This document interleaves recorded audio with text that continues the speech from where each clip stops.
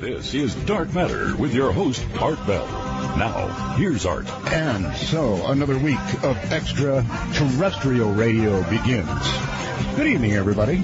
I am Art Bell, and this is Dark Matter. A few, uh, few little housekeeping measures, I guess, to begin. About a million requests for a couple of uh, people, and I don't have immediate access to them. One is Mel Waters of Mel's Hole fame. Mel, if you're out there, would love to get an email or a phone call from you or contact my producer. And we'll do it again and get an update. Mel's Hole. well, it was about a man who found a hole in the ground that apparently was endless. Some pretty interesting properties. Also, John Titor if John is anywhere near the timeline, John, figure out a way to go to artbell.com, actually, either one of you, and uh, email my producer, Paul Bowman. He's the way to get on the air over here. And we'll see what we can do. So, two oldies but goodies. John Titor, Mel Waters. By the way, you know who I did talk to? Madman Markham.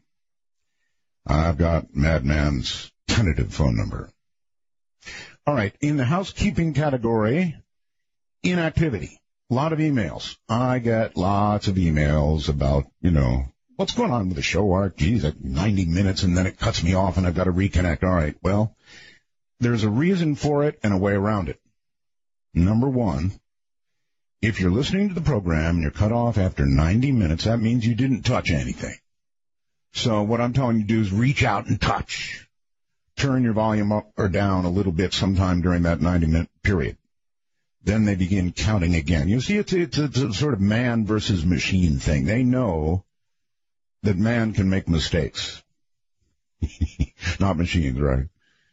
In other words, you might tune into the channel and then forget for three days that you've got your computer uh, downloading and downloading and downloading. So they do that.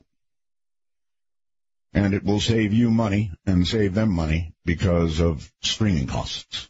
You know, bandwidth is money. Have you heard that before? Bandwidth is money. So all you've got to do to prevent it anyway is reach over and touch the volume or something, uh, turn it up or down a hair, uh, or almost anything you do on the receiver will reset that 90 minutes so you don't get cut off. Hope that helps. Now, the wormhole. The wormhole has been experiencing unusual gravitational effects. what that means, translation is that uh, our wormhole at artbell.com, which is supposed to reliably send a message over here, actually had some sort of software glitch in it. And, and of course you guys pounded the holy, you know what, out of it. And that contributed to its demise, its premature demise. It crashed about 21 times during the last show that I did. So, we now have a new, improved, cannot be crashed wormhole. Keith Rowland went to work and wrote code and made a new wormhole, and it really is sweet.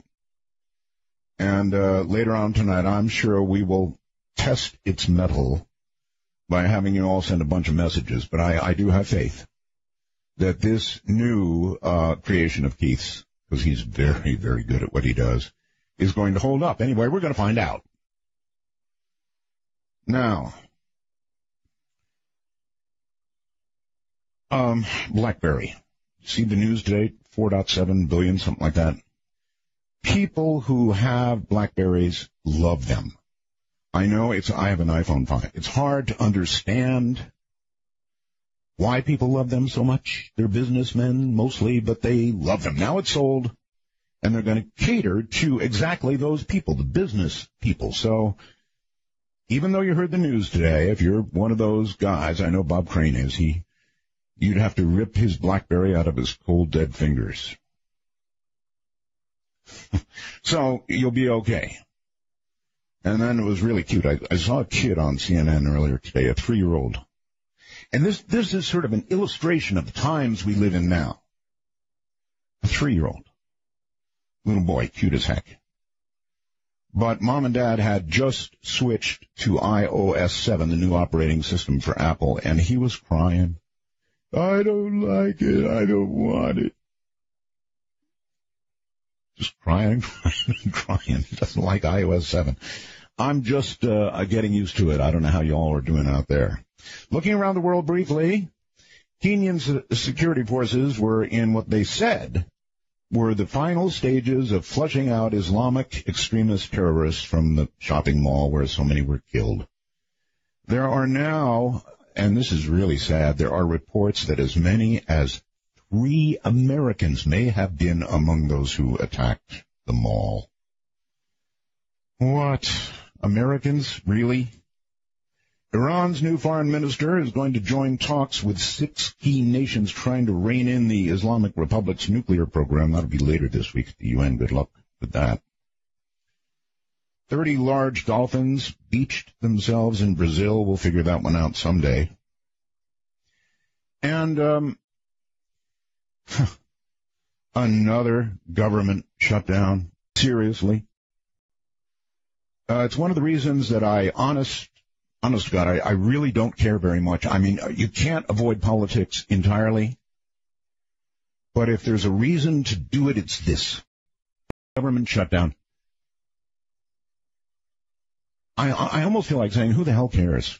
You know they'll come right up to the brink and then they'll either shut it down or refund it. You know, it's all about Obamacare, I guess. Selective's DNA high velocity DNA tagging system may come to a neighborhood near you soon. You can actually see it in action, I think, on the web. It's available in both pistol form and rifle form.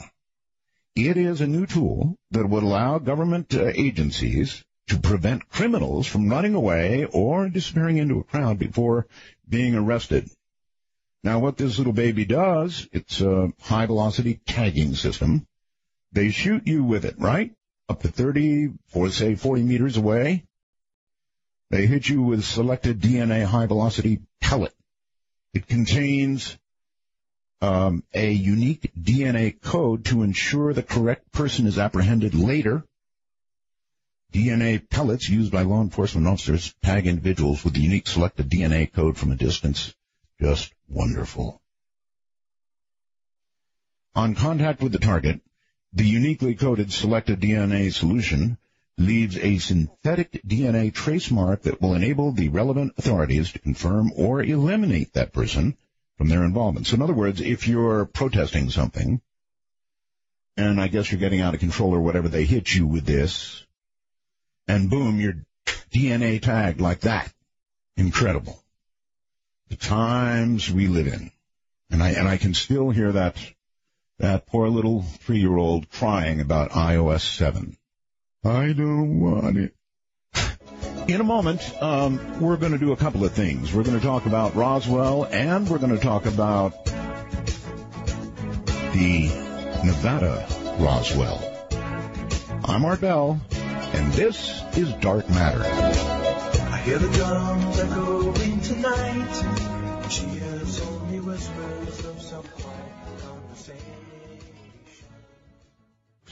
Well, all right. Um, this is Dark Matter, not some other show. So there's a couple of things I want to note here, and that is that it's kind of a different atmosphere.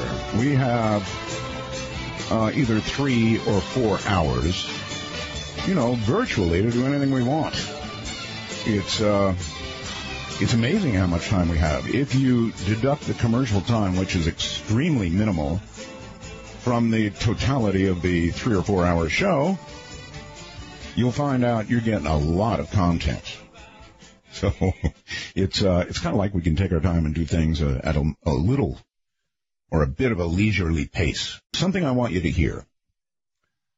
And this is, as you know, well, I guess you know, or you may have heard, that uh, Jesse Marcel Jr. passed recently. A real loss. But I was able to dig up the voice of Jesse Marcel Sr. You know, the, the, the guy who actually was there at Roswell. And I thought you'd be interested in a couple of things that he had to say. And it's, it's certainly, it's worth pondering as tonight we delve into what could be a Nevada Roswell or may have been a Nevada Roswell. Listen very carefully. This is uh, Jesse Marcel Sr. It's pretty interesting uh, stuff. It began in Roswell, New Mexico. Near White Sands and Alamogordo, Roswell was home base for many early tests of atom bombs and guided missiles. Here, also, the practice of military stonewalling may have been perpetrated. The case began when Roswell businessman Dan Wilmot witnessed an amazing object over the town. His son tells the story. This was their home in July of 1947, and it was one summer evening they were sitting out here. Dad looked up in the west and saw an object that came down and had lights blinking and it was rather frightening to him, but he said all of a sudden it seemed to rock a little bit and sort of counterbalanced itself, wiggle a little bit, then seemed to settle down and take off at a rapid rate of speed.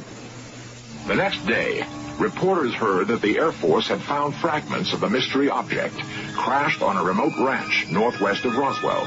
Excitement ran high until officials announced it was only a weather balloon.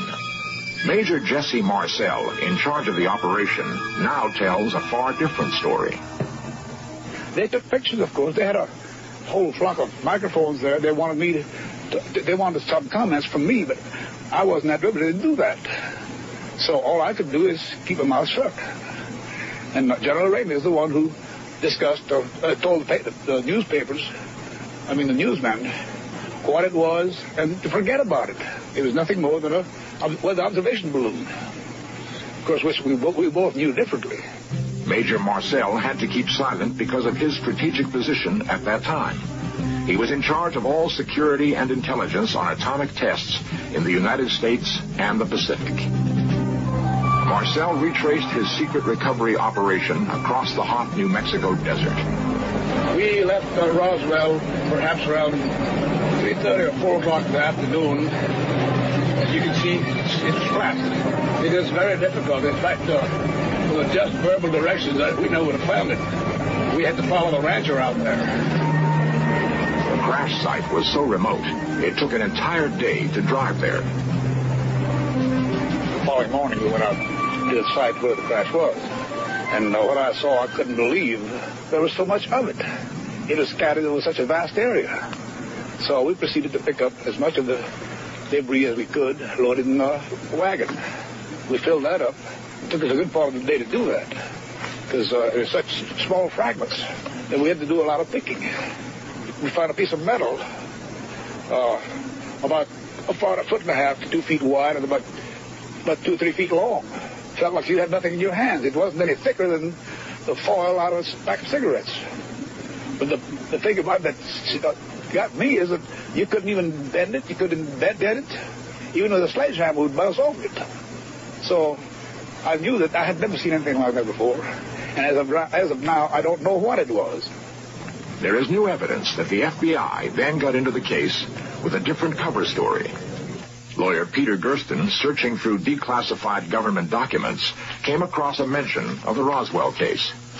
One of those documents related to an incident in Roswell, New Mexico, uh, which indicated that the object which had crashed was an experimental kite. Uh, the FBI investigated the incident and determined that it was terrestrial, that it was from uh, an organization which had been doing research in, in experimental kites. What did crash in this desert? A UFO? A weather balloon? A radar reflecting kite?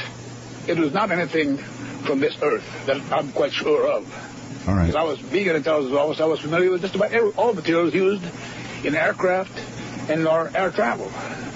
This is nothing like that. It could not be. It, it could not have been. There you go. That's uh, Major Marcel himself. Interesting to be able to hear his words after all these years, huh? And then one uh, adjoining fact that's pretty interesting. The Roswell incident occurred on July 7th of 47. It was only three months later, by order of the National Security Act of 1947, that would be September 19th, 1947, the CIA was created. What a coincidence, huh? All right, coming up now, Jeremy Meador. Jeremy is a Las Vegas, Nevada resident, so he's just over the hill here, who's been interested in the paranormal and ufology since uh, he was very young, so we can probably ask him about the paranormal too. He's part of a group from southern Nevada called the Bigfoot's Pad Paranormal. What a name. He co-founded that in 2003. Jeremy has appeared on numerous media interviews and TV networks like Sci-Fi, History Channel, International Channel, speaks frequently about ufology and the supernatural. In the last few years, Jeremy has been working on a case from northern Nevada involving lots of strange UFO activities.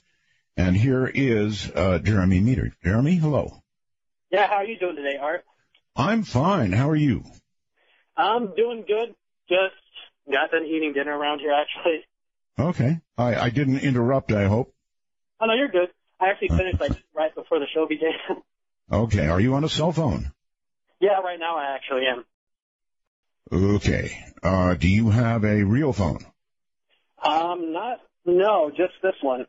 Only that one. What happens if your battery goes dead, Jeremy? I'm actually plugged into the wall right now. All right. Like right next to the computer if I saw Uh, all right. it's close. Well, we'll we'll hope for the best. Um, I it's hard to know where to begin because I hate to say this, and you know I appear ignorant, but I never heard of the Ely crash. Not very many people have actually. Oh, Um, see where to begin.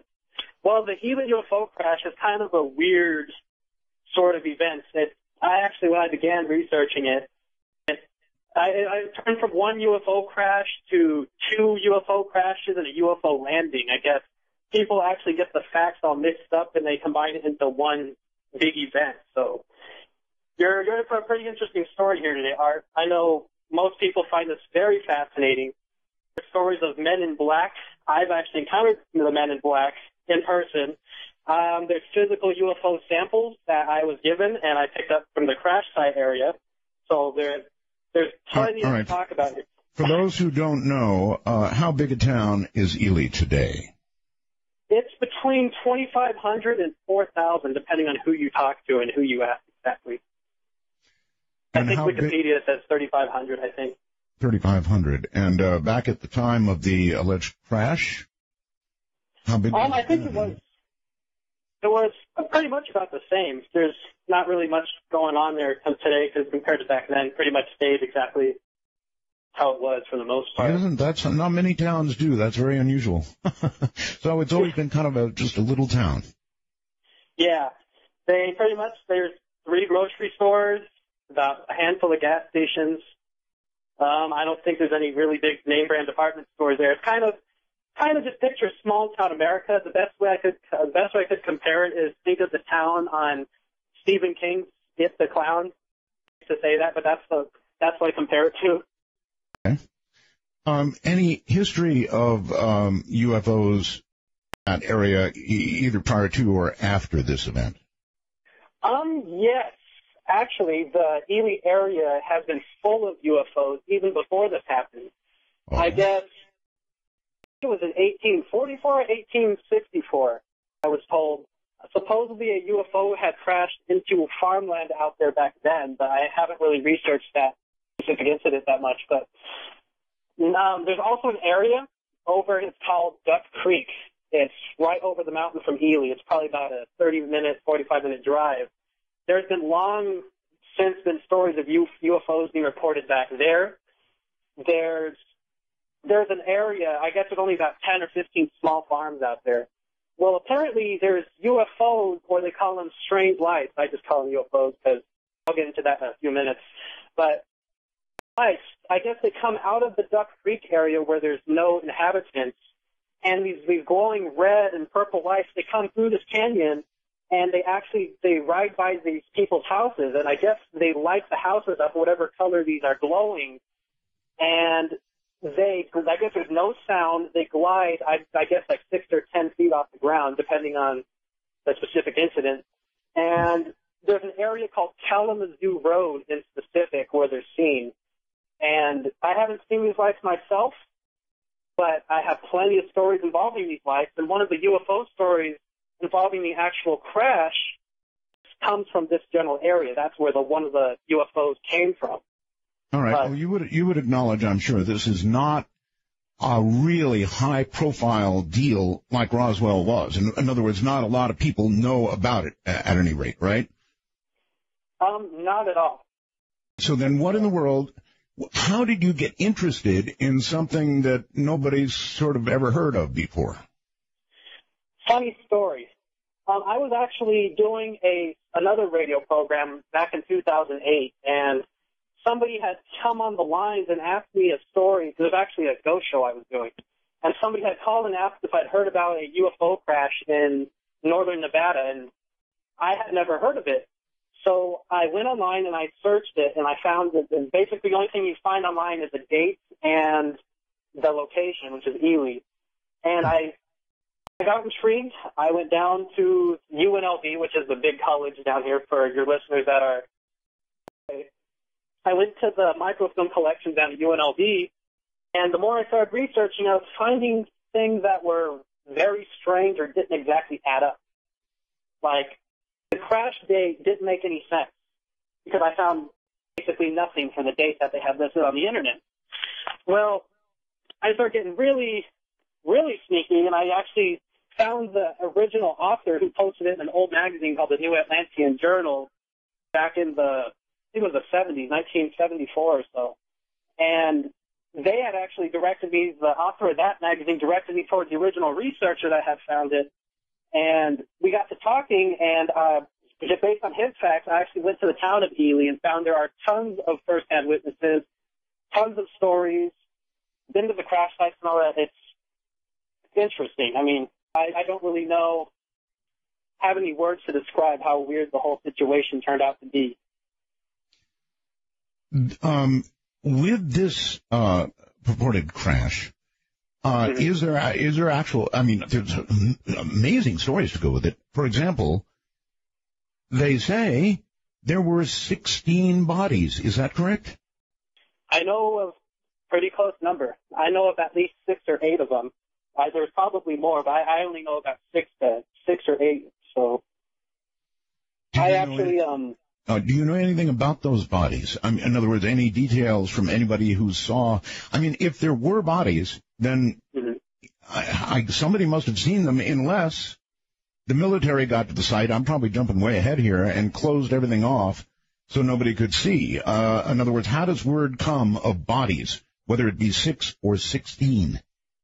Well, our, this is the this is one of the most amazing parts of the story. I don't know if you want me to tell it all right now or not, but there were stories of civilians. They actually found some of these aliens were living. They were they it's they got away from the crash site and were wandering around the flatlands and right outside of town. Actually, people were reporting some of these aliens were alive, walking around. So there was some bodies that some aliens had died at the crash site, yes, but there was actually some reports of them actually I wouldn't call it escaping, but they were escaped and were actually wandering right outside of town, probably about two or three miles from people's houses. My God, Th- these are people that actually reported to you that they saw these creatures. Um, I actually didn't have any reports of the alien, bodies, and then until the Ely Daily Times newspaper had wrote, they put me in the paper, and I told them basically a little bit of my story, and I got probably about between five and ten different callers who didn't know each other. Actually, told me that they had seen either the dead bodies or the living bodies, or not bodies, but living aliens. Did they describe them? Yes.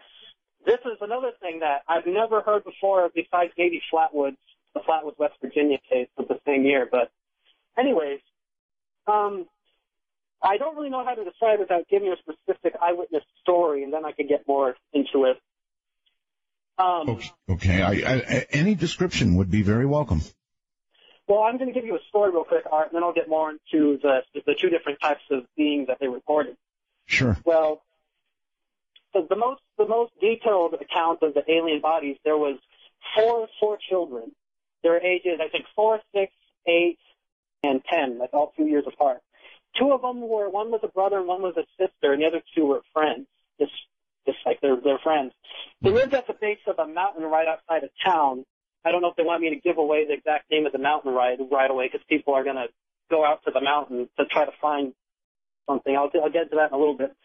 Well, this mountain is literally overlooking the town of Ely.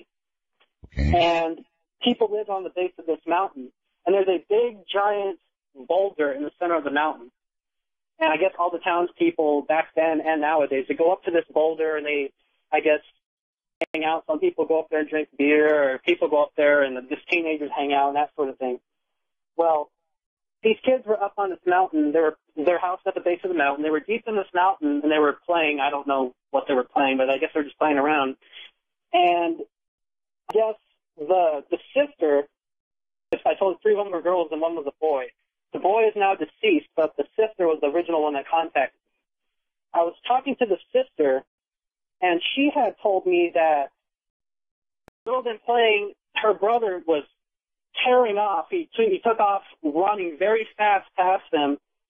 Didn't say, didn't, what was, I guess he was like in the hysterics crying and running away, and they didn't know what he was running from. Mhm. And the next thing I know, I guess the woman said that the other, one of the other girls took off running and passed her from the same direction this boy had been from. And I guess she said that she had turned around toward this big boulder, and on the opposite side of this boulder, she said there was something it looked. She said that they called it Thumper the Rubber Man, is what they originally called it. And this was reported. I'm, I'm sorry. Again, please. They called it what? Thumper the Rubber Man. Now, Thumper I, I don't know where that name Man. came from, but it was a robotic, a robotic like creature, robotic being. She said that it was either metallic looking, and she said you could see the reflection of the rocks and the trees and this being's, I guess you could, its torso, its whole body. She said that it had at least one of the arms was a pincher. I told her like Robbie the robot, and she said, yeah, kind of like Robbie the robot. But whatever this mm-hmm. thing was, she said it was either walking fast or it was running. But whatever this thing was, it chased all four of these kids off the mountain and they ran into their house. Whatever this creature was was actually pacing around their house. And she said Wow. that one of Now, is this thing large? Small? She said that it was about the size of an average man, so about five to six feet tall. It wasn't. But with wasn't- pinch, pincers. She said it had at least one pincher. I could have had it on both hands. I know that she said at least one hand. Okay. But whatever whatever this thing was, I guess they ran into the house, and one of the little girls actually fainted. Had to be brought to the hospital eventually, sometime throughout the day, because she was having problems breathing and was having heart problems because she got so scared at seeing this thing. Right. And apparently they called the police, and the police went out to the house, and they never found whatever the thing was. I guess it had went back into the forest. But here's where the story gets more interesting. It's already Depending on interesting. other- hold on a second. It's already interesting enough now. Yeah. Uh, you said the police became involved, right? Yeah, the police showed up on the property. So perhaps, with luck, there's some sort of police report that was filed? Well, I went down to the police station and tried to get police reports. They told me that supposedly they couldn't access the reports that were that old, which I think I don't know if they can or they can't. I know of other researchers that have found older reports than that. But Yeah, a local police station, maybe not. That's an awful long time ago. well, apparently And the and, and, and so that we're hold on, so that we're clear, what is the exact date again of the crash, please? July seventh, nineteen fifty-two, which is five years to the date after Roswell. Yeah, isn't that interesting? Same same day of the year, huh? July seventh. Oh yeah, five years later. Wow. All right. So no police report. Nevertheless, the police were there. One child ended up in the hospital. Um, this is uh, really uh, quite a story. it's quite a story. And how substantiated uh, do you feel, Jeremy, all this is? I think it's way underlooked, and I think the whole case in general should be talked about more, and more people should know about it than already than that do already. Personally, Well, based on what I've heard so far, I would agree with you. Yes, it sounds like a big incident when you have creatures, uh, when you have alleged aliens, people scared, the police, hospital involved. Uh, it's beginning to get to the point where I'm wondering now. I'm sorry to be jumping ahead on you, Jeremy, but I looked all this up on the internet uh, before I had you on because I wanted to see what sort of story I was getting into. And I did find uh, a YouTube piece, which by the way I sent to Keith and it's up on artbell.com if you want to see it right now. And indeed, there's been a local investigation. And when they first looked in the newspaper archives suspiciously, the, uh, the, the day in question's newspaper was missing. All the rest of them were there, but the day in question was missing. Now they did go to, I guess, some microwave backup or something and found a newspaper for that day, but it didn't reference any UFO crash. Am I, am I right? Yes, because the actual date is in July, and the internet says that it's, I think it's August 14th or August 12th. It's actually a month before that. So that's why the, uh, the past investigators that tried to look it up have never found any information because uh-huh. they haven't been looking at the right date. They've been looking ahead of time. Oh my. Okay. And uh, uh, oh, sorry, Art. All right. Have you now gone back and looked at the correct date and looked for anything in the in the paper at all? Um, yes, actually, the Nevada newspapers, especially Ely, didn't report any sort of incident. If you go to Oregon, Idaho, Washington, or Utah, there it did make the front page of many newspapers in those states. Like the government or somebody censored the Ely newspapers and all the ones in those little towns that are around there. Because Amazing. I don't know why a Nevada paper, especially the town of Ely, would not report that in their paper, but yet Ogden and Salt Lake City would have it in theirs. Because if it makes front page in Salt Lake City, two or three hours away, I'm pretty sure that that would have been front page news in Ely, you would think. All right. Boy, I wish you had a real phone there. Um, it, it just, uh, cell phones kind of clip things off a little bit and sometimes it's, it's hard to hear.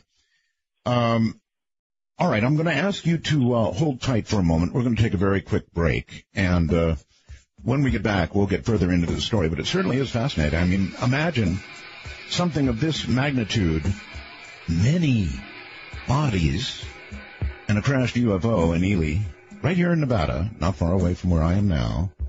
Well, relatively. All of that, and we're just now talking about it after all these years. You're listening to Dark Matter.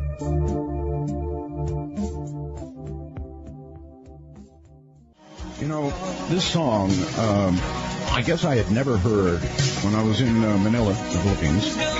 I heard it on a radio station, and I, I went, wow, I really like that. And of course, I obtained it, and then pretty much listened to it until my ears bled. That's the only way I can get a song out of my head is to just do it and do it and do it and do it until I see blood. Welcome back. My guest is Jeremy Meador, and he's talking about a UFO crash in Ely, Nevada, right here at home. And it's incredibly fascinating stuff. I mean, really good stuff.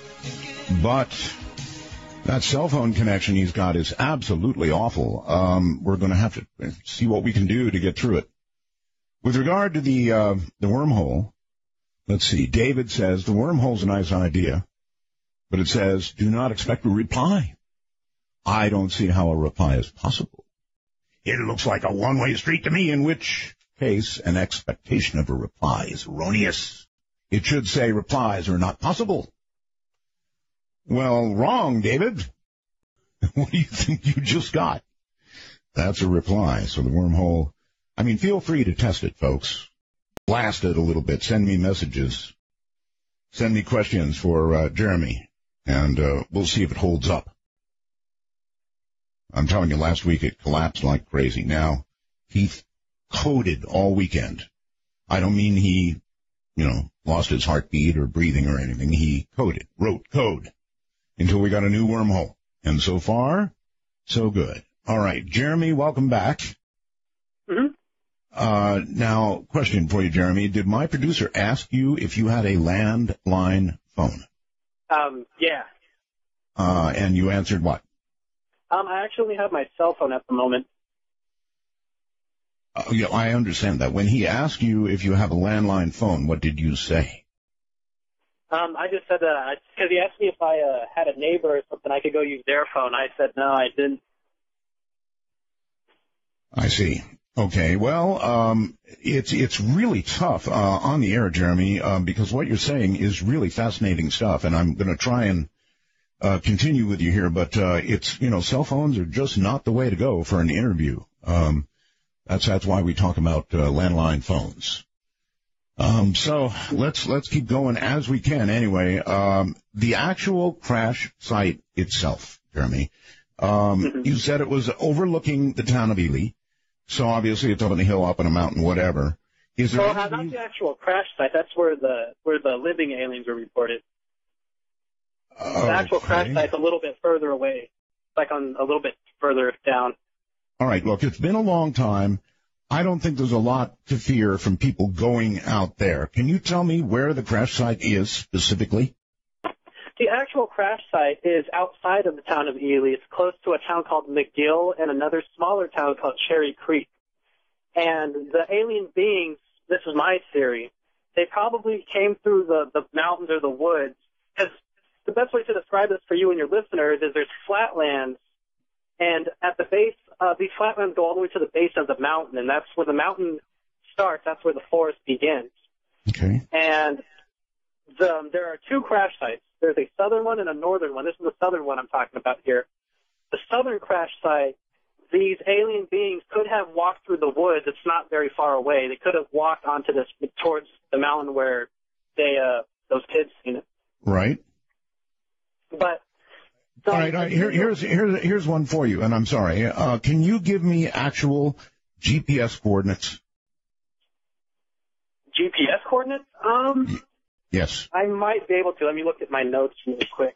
Okay. I would think uh, through a you know long period of investigation, you might have marked the actual site with GPS coordinates. I, and I don't think there's any harm in giving it out uh, on this late date. I mean, it's been so long now, right? 1952. So people want to go and visit, and if people can find something, then uh, hey, why not?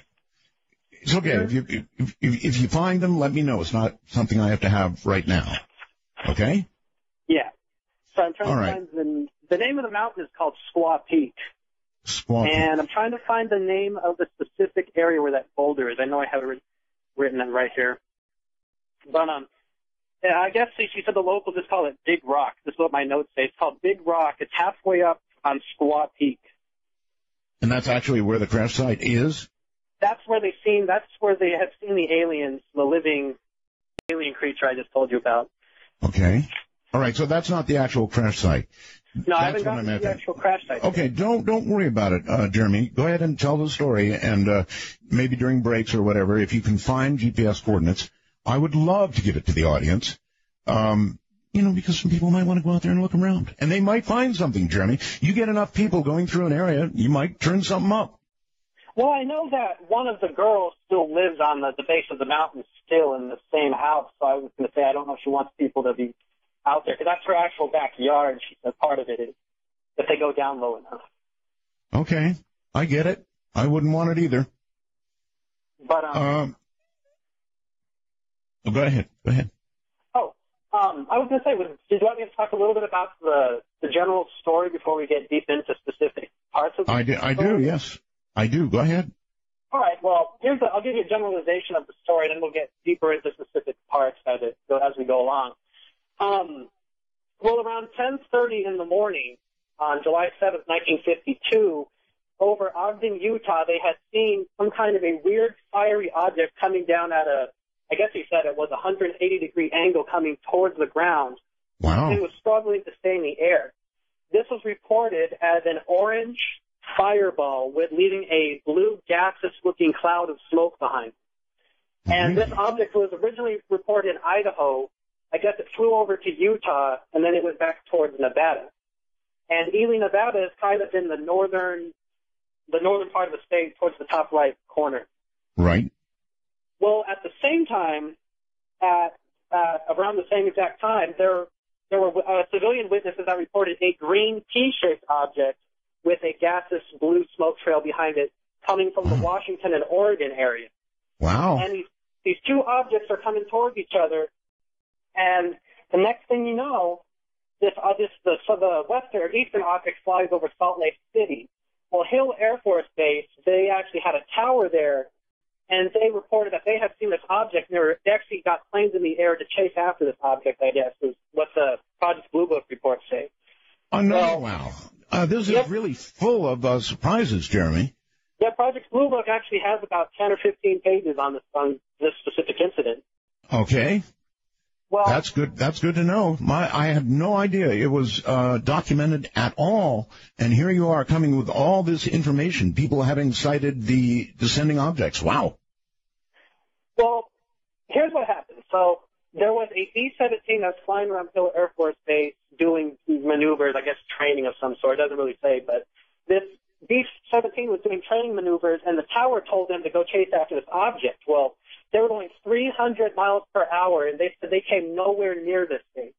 They flew through that gaseous blue cloud I was telling you about, but they could never catch up to it. Well, people over in Montello, Nevada, which is in the top right corner, almost in Idaho and Utah, they reported a giant explosion, and this thing had came down and actually smashed into the ground outside of the town of Montello. It's an area called the Dairy Valley. Okay. And nowadays, the, the small town that was in the Dairy Valley is gone. Montello is the closest town, and only 35 people live there nowadays. So if you plan on ever, I'll talk about the crash site a little bit, but that crash site's actually like a three-day drive, basically. And then I guess one of the objects had hit the other one, and one had came down south and was struggling to stay in the air, and it had crashed at the site that's near McGill and Cherry Creek, I was telling you, right by Ely. So this is where the story gets confusing. Is people people report that the two crash sites are actually one crash site, and there's something that happened in the 1970s in the town of Ruth, which is even closer to Ely than the Cherry Creek crash site. But that was a UFO landing. I'll get into that in a little bit. You know, that's not unusual. I mean, even with Roswell, you've got one crash site, no wait, you've got two, and you've got bodies at another location. So, you know, what you're saying is uh, kind of consistent uh, with the way these things seem to be reported. Yeah. Well, something interesting I forgot to tell you was um, the Ogden newspaper from July 8th, 1952, they actually reported that fire had burned 600 acres of land. Wait, I think it was July 8th. Yeah, July 8th. They reported that this fire had burned 600 acres from the northern object. The southern object started a fire, but it wasn't as big. The fire in the southern object was reported at 11:30 in the morning, and the northern one was reported around 10:30, 10:45. So they're pretty close between the amount of witnesses. The one that had crashed up north was closer to town than the one that was in the south. And the one that was sighted in Utah, that was at about 10:30 in the morning, right? Yeah, the military from Hill Air Force Base actually reported that it was at 10:30 in the morning their time, is when they had initially seen the thing on fire. Okay. Oh, um, we may have had so- our own Roswell here. so Is that, is that, but- yeah, is that what you conclude? Uh, after all your investigation, do you conclude that what happened here in Nevada in Ely was in fact a, uh, a, a Roswell for Nevada? Definitely. I have stories of alien bodies from the southern crash site, but the northern one, I don't have any stories of bodies up there. All right. But- now, all of this would have been absolutely impossible, it seems to me, to cover up. And according to, you know, the investigation you've done, it hasn't all been covered up. But at some point, and again, I hate to rush ahead, but was all this covered up? Did they come in and, I don't know, quarantine the area like there's been a plane crash or something? Well, I'll start with the northern crash site started. The northern crash site, actually volunteer firefighters from the town of Montello came up to the crash site, and I guess they had come up to this object. And while they were trying to put out this fire, because they didn't know what it was at first, they were trying to put out this fire, and the military told them to leave, and they quarantined off that area. Well, the southern the southern crash site site's a whole different story, because there's railroad tracks and a freeway, Highway 50, I think it is, runs right by where the crash site is. So there were people driving by, and the railroad was driving by with their train cars. So quite a few people seen the southern, southern crash site, or Highway 93. Sorry, I just remember that. But yeah, quite a few people drove past that crash site. Um, I guess the most interesting story I found came from a train worker. The Nevada Northern Railway is what the company was called. They used to run trains coming from Ruth, Nevada, which has one of the biggest copper mine pits in the world. It's called the Robinson Mine. It's been open since the 1800s. But anyways, this train used to bring people to work, used to bring people to school because it was a remote area, especially at that time.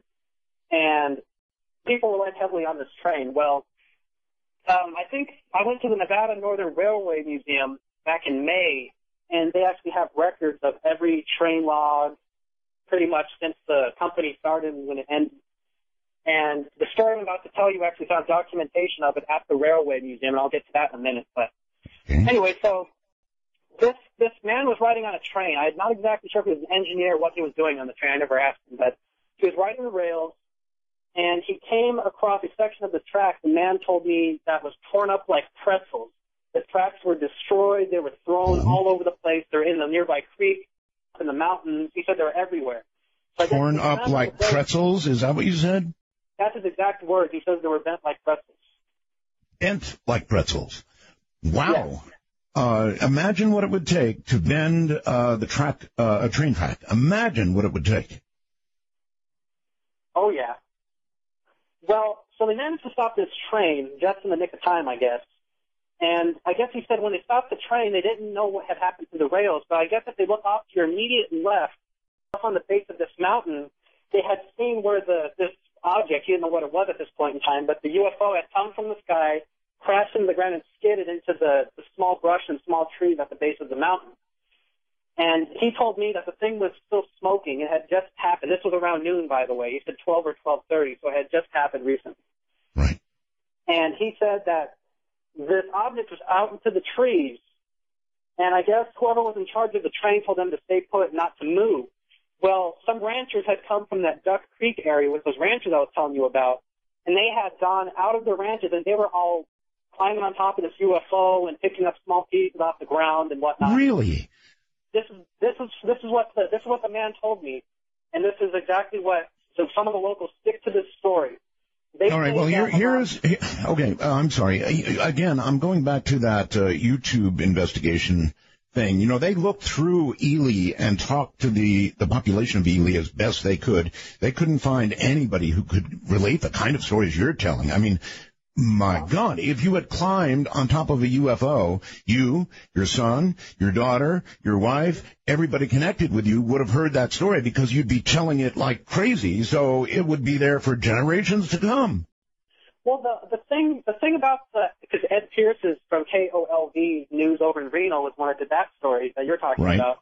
Right? He actually has the 1970s and the and the 1952 crashes or the UFO incidents combined into one. And the people he's talking to are he's asking about something that happened over in Ruth, Nevada. And I guess the townspeople didn't know nothing about it. And there's a small town called Eureka, which is up in that area. My grandmother lives in Eureka, so you kind of have to get in with the community or know somebody to get information.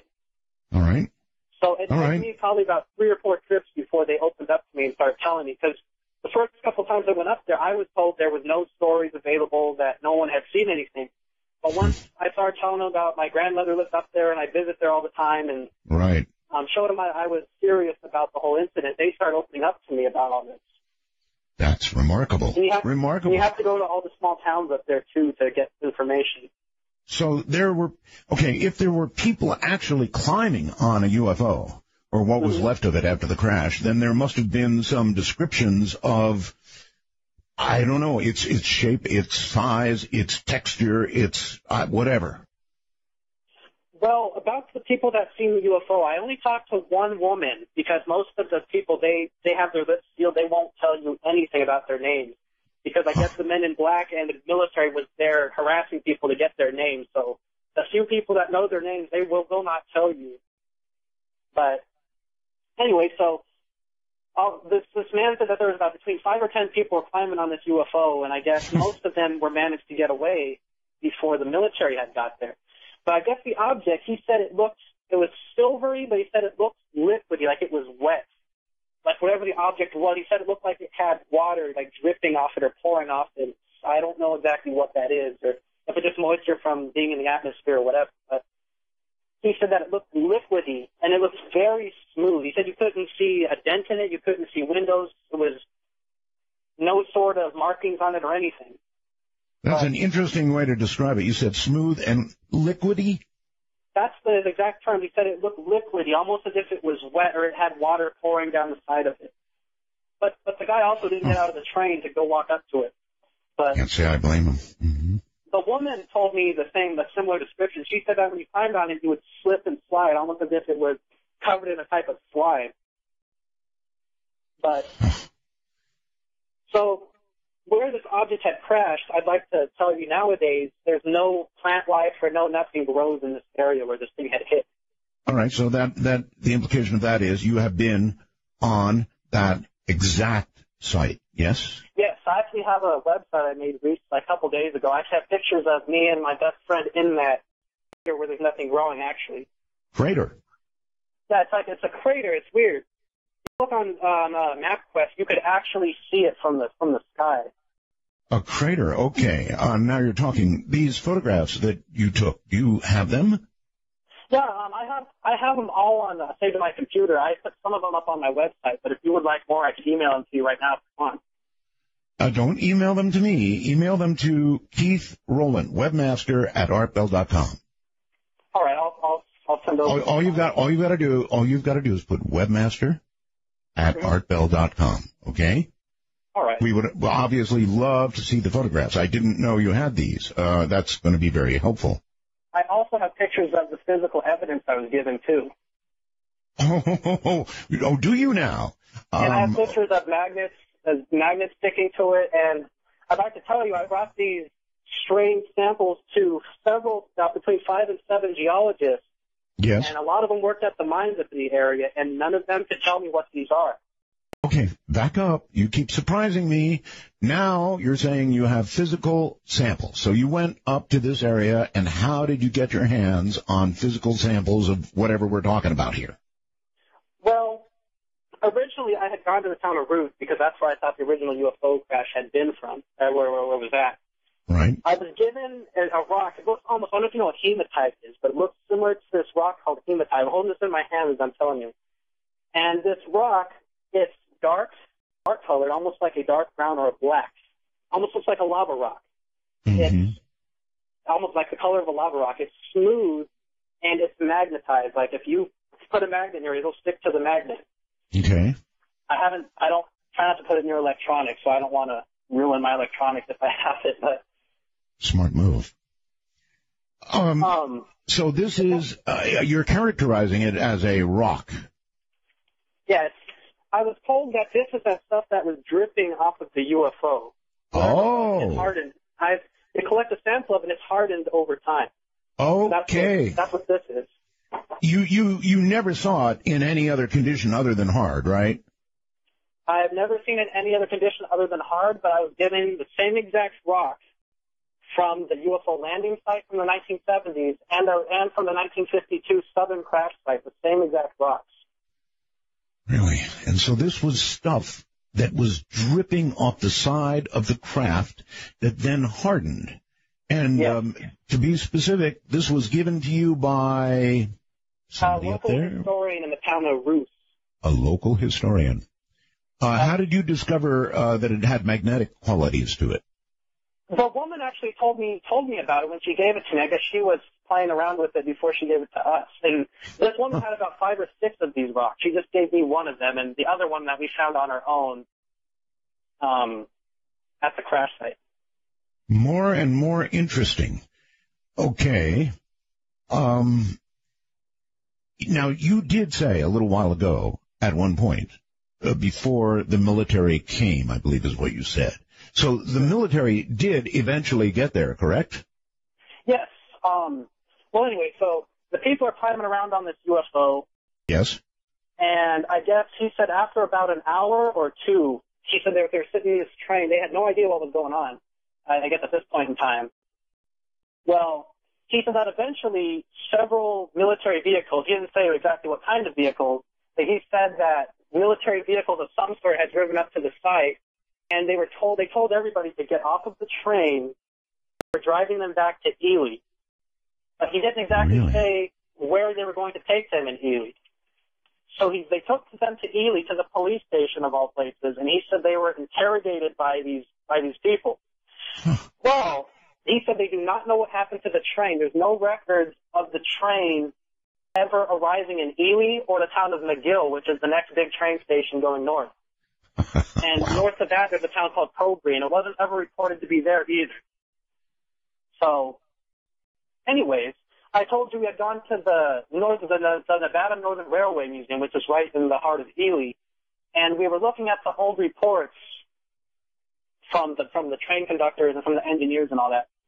Mm-hmm. Well, we had found a we had found a report that says that that a train had, was was going towards McGill, coming from Ely, and they said that this train, one boxcar was derailed, is what the this is what the report says.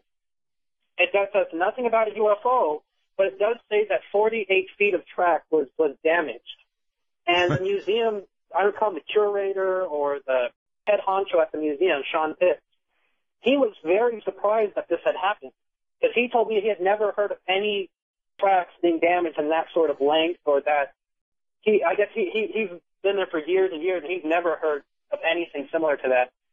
So anyways, the tracks come in sixteen foot sections and that would be what, like three or four sections, Sure. something like so three or four sections of track were damaged Bent like and um and it doesn't say what happened. It said it has the the same exact word. It says the people were taken off the train by an official. It doesn't say who. It just is an official. They were Mhm. taken off the train and brought back to Ely. Well, it doesn't say where they were brought back to in Ely. They weren't brought back to the train station. And it doesn't say what happened to the train because in the arrival part of the log, it doesn't say where it arrived. It just says when it left. So I wonder if they were taken back to Ely and put in some sort of auditorium type atmosphere and instructed that they had just seen nothing. Well, the guy that was on the train didn't get into de- detail on what exactly they were questioning him about. He just told me that he was questioned because like, the guy started getting kind of scared when I started mentioning that I was going to be up there in a few weeks and I wanted to talk to him. So the guy got kind of scared. But Really? so, anyways, we found documentation at the railroad museum basically saying word for word what this guy had told us on the phone related to the UFO crash. So, anyways, I'd asked the curator at the museum how how because I I didn't know. I was I said how do you move a train? How do you move a train or what's the process? though? he said that there's two ways.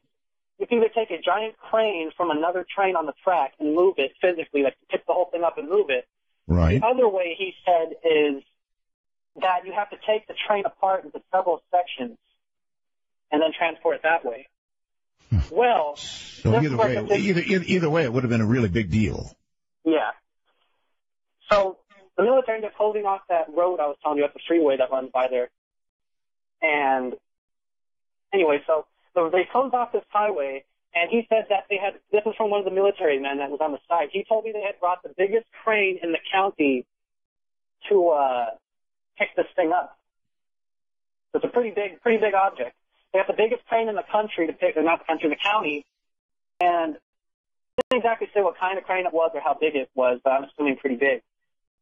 I asked them the question about helicopters, if there was a helicopter involved. I guess the helicopters at that point in time weren't like they are nowadays. They weren't good enough to pick the object up and carry it like you could now. Right. But so anyways, I guess they put it on a giant flatbed truck and they drove it south. Didn't exactly say where to the south, but I know Area 51 to the south. I guess maybe they could have brought it there, but That that would be a logical. Yeah, that certainly would be a logical place to take it. All right, hold, hold tight.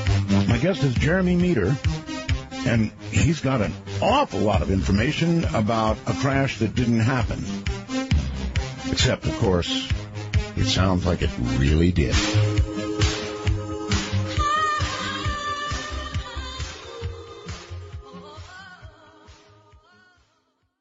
And this is the area of 51. Evening, everybody. Jeremy Meador is my guest. Now, what you're hearing about is very interesting because um, it really sounds, uh, for all the world to me, just like a, a Roswell, only here in Nevada and little known. But obviously, there is some serious amount of evidence to go along with this. And by the way, uh, on that note, uh, it's my understanding Jeremy is emailing a couple of segments of photographs to uh, my webmaster uh, Keith Rowland, and we'll get them up for you. That may identify the location. Um, Jeremy, uh, you're back on the air again. Yeah, I'm sending you the pictures about two or three separate emails because they won't let me send them all at once for some reason. That's fine. That's fine. Uh, the emails, uh, or the photographs, I should say, are going to be of this material, number one, right? Yes. And, um, and number two, uh, of you standing at this, well, you called it a, um, indentation in the ground, a crash site, actually, right? Yes, they're actually of the, they call it a crater. It looks like a, like a crater, like a hole in the side of the mountain. Mm-hmm. All right. And so the, the- the pictures also are there's some of them are of the of a I guess you could call it a base of some sort, a government base that was put in that was made around the crash site. I'll get into that in a minute. A base made around it? Okay, go ahead. Well, it gets weirder. In 1955, well, it's 55, I think it was. Yes, three years later, the the government actually built a you could call it they built it's called Project High Range. What it was supposedly was to track and monitor the X-15 rocket plane, which is a plane that could take off like a conventional airplane and land on a runway like a normal a normal airplane could. Well, once project once the X-15 spy plane they stopped doing that, they started using these bases to monitor UFOs and UFO tracking activities supposedly.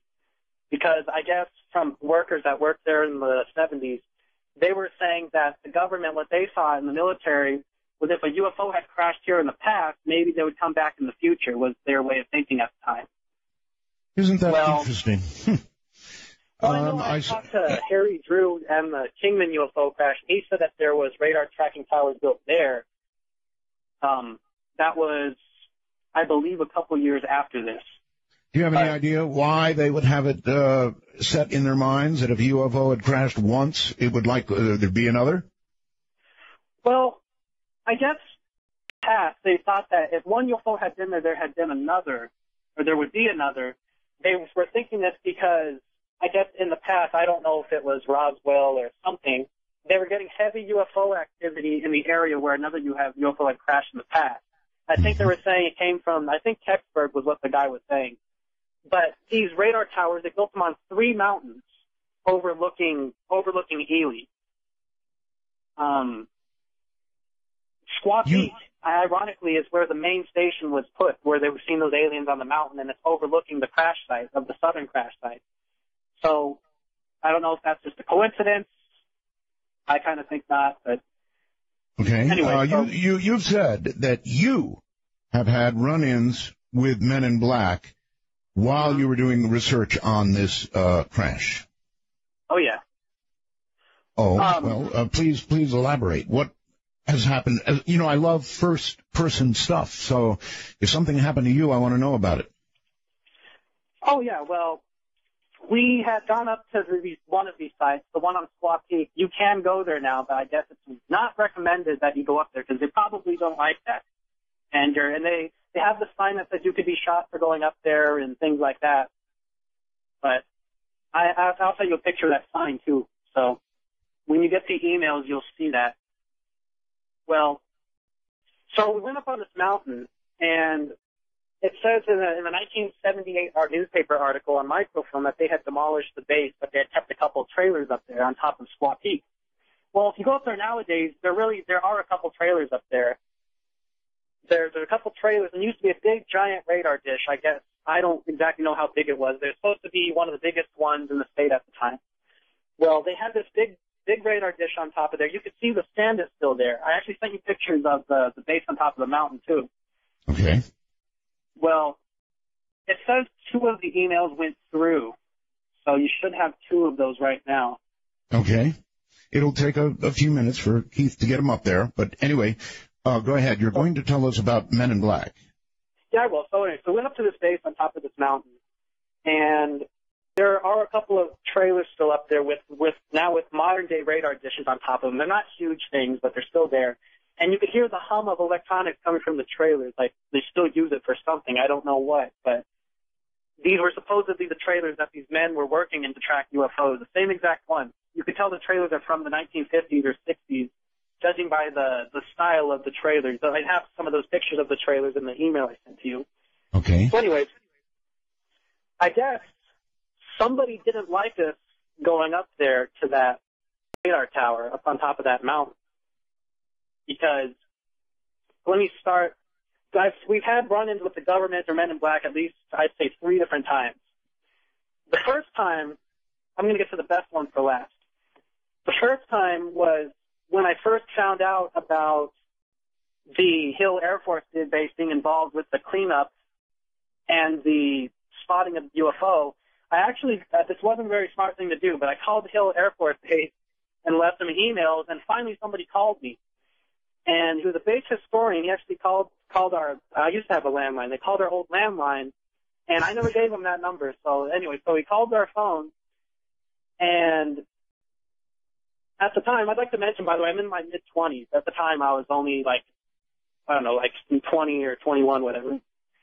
So, anyways, um, a man from Hill Air Force Base had called the house, and he was asking me questions about UFOs and things like that, just like common knowledge. Just out of the blue? So, yeah, out of the blue. The Hill Air Force Base called me, and the guy was asking me about Roswell and weird, I guess, testing my knowledge on UFOs to see how how well I was into it. He asked for my. So I went to CSN, the College of Southern Nevada at the time. He asked me for all of my teachers' names for some reason and my student number. I don't know why. But anyway, so then after Uh, well, no, no, wait a minute, wait a minute, wait a minute. Hold on, Jeremy. Um, Mhm. he he represented himself to be who from where? he, I have my notes right here actually. He said that he was some sort of a historian. He never gave me his name. He said he was the base historian at Hill Air Force Base. He told me that in the 1940s and 1950s, there were a supply and maintenance depot for Nellis Air Force Base and the other ones in the area. But the Project Blue Book, Blue Book, sorry, I didn't tongue tied. They clearly said in Project Blue Book in black and white that Hill Air Force Base picked up the pieces of the UFO and that they were sent out, basically. Because it said that they had planes circling the area and things like that. Well, anyway, so this guy calls me, he's asking me questions. For some reason, he was asking me questions about my college and things I was doing in college. I don't know if that's trying to not make it sound weird to me at the time or not, but so. Anyways, he starts to ask me, okay, well, what specifically do you want to know about? And I actually, uh, I actually got, I guess you call it nerves of steel, and I asked him, okay, well, I'm doing a case involving a crash. He goes, what kind of crash? And I go, a strange one. And you could tell the guy, he, you could tell he was smiling on the other side of the line. He kind of chuckled and he was like, well, kind of strange crashes. And I said, one that happened near Ely, Nevada in 1952. And the guy goes, those types of crashes are classified. But if you want to know about it, you could come down to the base and we will talk to you about it. And knowing I'm, I didn't go down to the base. I didn't want to know what was going to happen if I went down to the base, whether they were going to do something or not. But, well, Yeah, I, I understand completely. I probably would not have gone either. Um, and then they called my phone a couple more times, asking me more questions about airplane crashes and, and kind of more UFO questions. really, And they never really said, they never told me why they were asking me this. I kind of just answered their questions because Nellis Air Force Base is right down the road, and I'd rather them not come to the house in person and ask me. Right. Um, Um, so you you would classify these people as men in black on the phone. Um, that was the military. The Men in Black story, the more interesting ones I'm getting getting towards now. All right. Well, on the last time we went to Ely, which was back in May, me and my me and my best friend were we went. This was one of the first times we went to the crash site. We had got these rocks and we were out cruising around. Well, we were actually filming filming videos that we were going to put on a short documentary we we're planning on making. And on my best friend's camera, you could see that there's the blacked out vans are in the background with the people sitting, and they didn't get out of the vans, but they showed up at several of our filming locations. And this is this area is very remote. It's like Ely is the biggest town for 200 miles in any direction. So why? What are the chances they would follow us to small towns? And I'd like to tell you, most of these towns are like an hour or two apart. So it's pretty long distance for these people to be showing up. That's that was concerning, but that's not the weirdest one. I guess it was back around 2011. Me and my best friend and my brother were actually going to get ready to take one of our trips to Ely, and we were going to interview a lady uh, that lived in Ely. I guess she had seen seen something like the craft being transported through town or something. Right. So, anyways, the woman called me on a Thursday or a Friday. We were supposed to leave on a Saturday, and the woman said, "Oh, well, I'd like to thank thank Jeremy and Nick, which is me, my best friend. I'd like to thank you guys for coming and doing an interview today. Your paranormal group is very professional." And she starts describing this interview, and I told her, I was like, "Oh, well, I that's interesting and all, but we were we didn't go up there. We're still in Las Vegas. And, and she swore up and down that me and my best friend came to her house. Well, she described it as two men in black suits got out of a blacked out van, and they knew all about like where I went to college, my friend Nick's life in Ohio before he moved to Las Vegas, and Mm-hmm. I guess we're having small talk about our lives, and their facts were right on. I don't know who these people are, but she described them basically as your typical Men in Black impression, or like what you would think of the Men in Black. And I guess they conducted some sort of interview, and the lady got so scared when I said that it wasn't us that she never talked to us again. Hmm. so I have no idea what that was, but I guess nobody, no, nobody else that we wanted to interview has had people like that show up. But we have talked to people that have been seeing the Men in Black come to their house and threaten them within the last few years too. Threaten? Yes. There was a man named Claude House. He's actually on that video that you have on your on your website. Right. Um, he was talking to the Channel 8 News in Reno. I think that video is from 07 or 06. He was telling his story about what he had seen or what he thinks he remembered. Well, I was told by a couple of the locals to go call him because I guess him and his brother were young at the time, but they had seen something. I called him. I called Mr. House, and he told me, "Oh, I'll be glad to do an interview with you." And I said, "Okay, it's a paranormal interview," is what I described it as. And he was like, "Okay, let's do the interview." So I called him on the phone to try to get like a pre-screening before I actually drove up to where he lives. And this man, he was like, "Okay, well, what do you want to ask me?" And I told him, "Okay, well, we're going to be doing a story on uh, UFOs and this and that."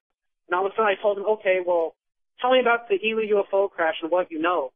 This man, he did a 360. He went from calm, calm to hysterics. This man started blubbering and crying. Like I call it crying. It sounded like he was crying. He got very concerned. He told me word for word. He said, they told me not to talk about it. They told me that I'm in danger if I tell you this.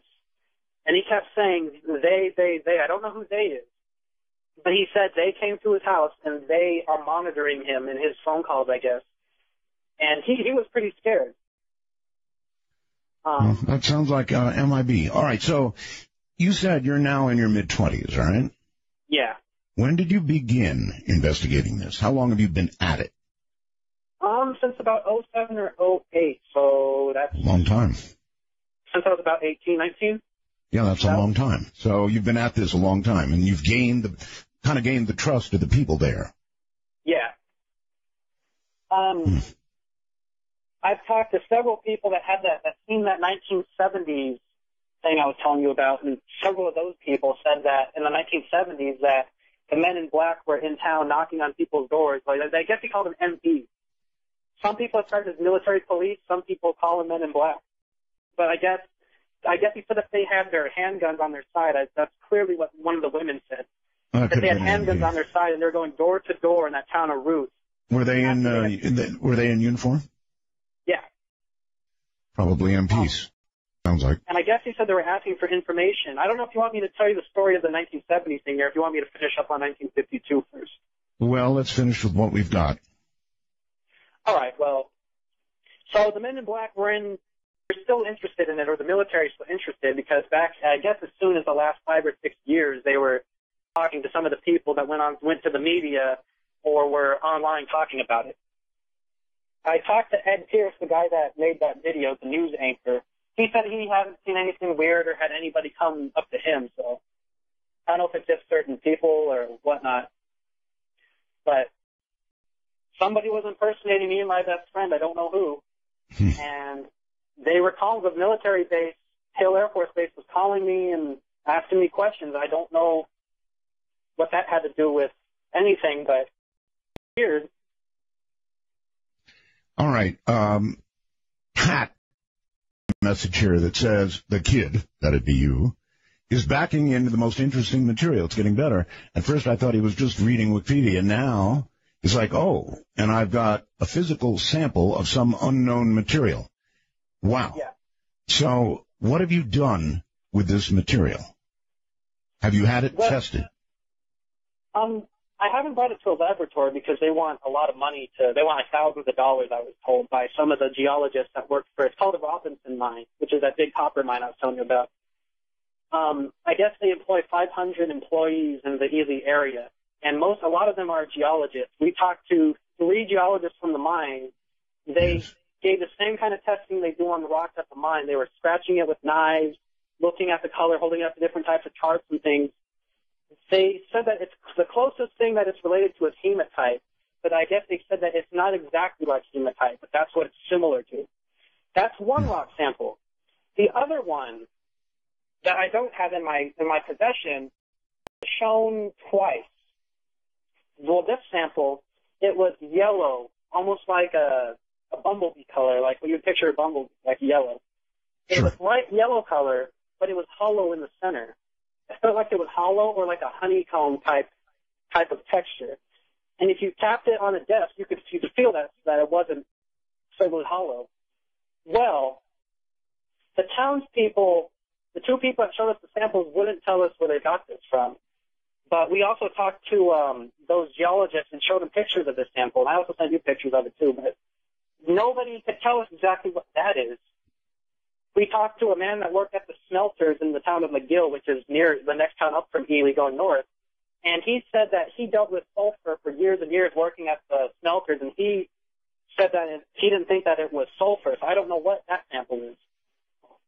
But I was Well, uh, generally, uh, Jeremy, I've found that if you have a sample of something that is really anomalous, I can guarantee you uh, that somebody will come along, a Linda Moulton Howe or somebody at that level uh, who is interested in real science, and if they find that it's anomalous, they will get it to the right labs. I can promise you. Hmm. I know. Um, I think they wanted like three thousand dollars or something like that to look at a similar sample from the Kingman UFO crash. I know he said he paid for it out of pocket. So after hearing that, I didn't even think. I Oh, could- it's I it, it, listen. Make no, no mistake, Jeremy. It's going to cost money to get it tested. What I'm saying though is, if what you have is really anomalous, trust me, uh, the people who count will find a way to get the money to get it done. No problem. Yeah. Are you are you willing to allow the sample to be tested? Um, yeah, I'm willing to get it tested. I just don't know if I want to give away the whole sample. I'll give like half of it or something. That'd be fine. I kind of, I want uh, at least a piece of it to keep for myself. That'd be fine. I, I've received similar material, Jeremy, and I did exactly that. I kind of pieced it out for testing.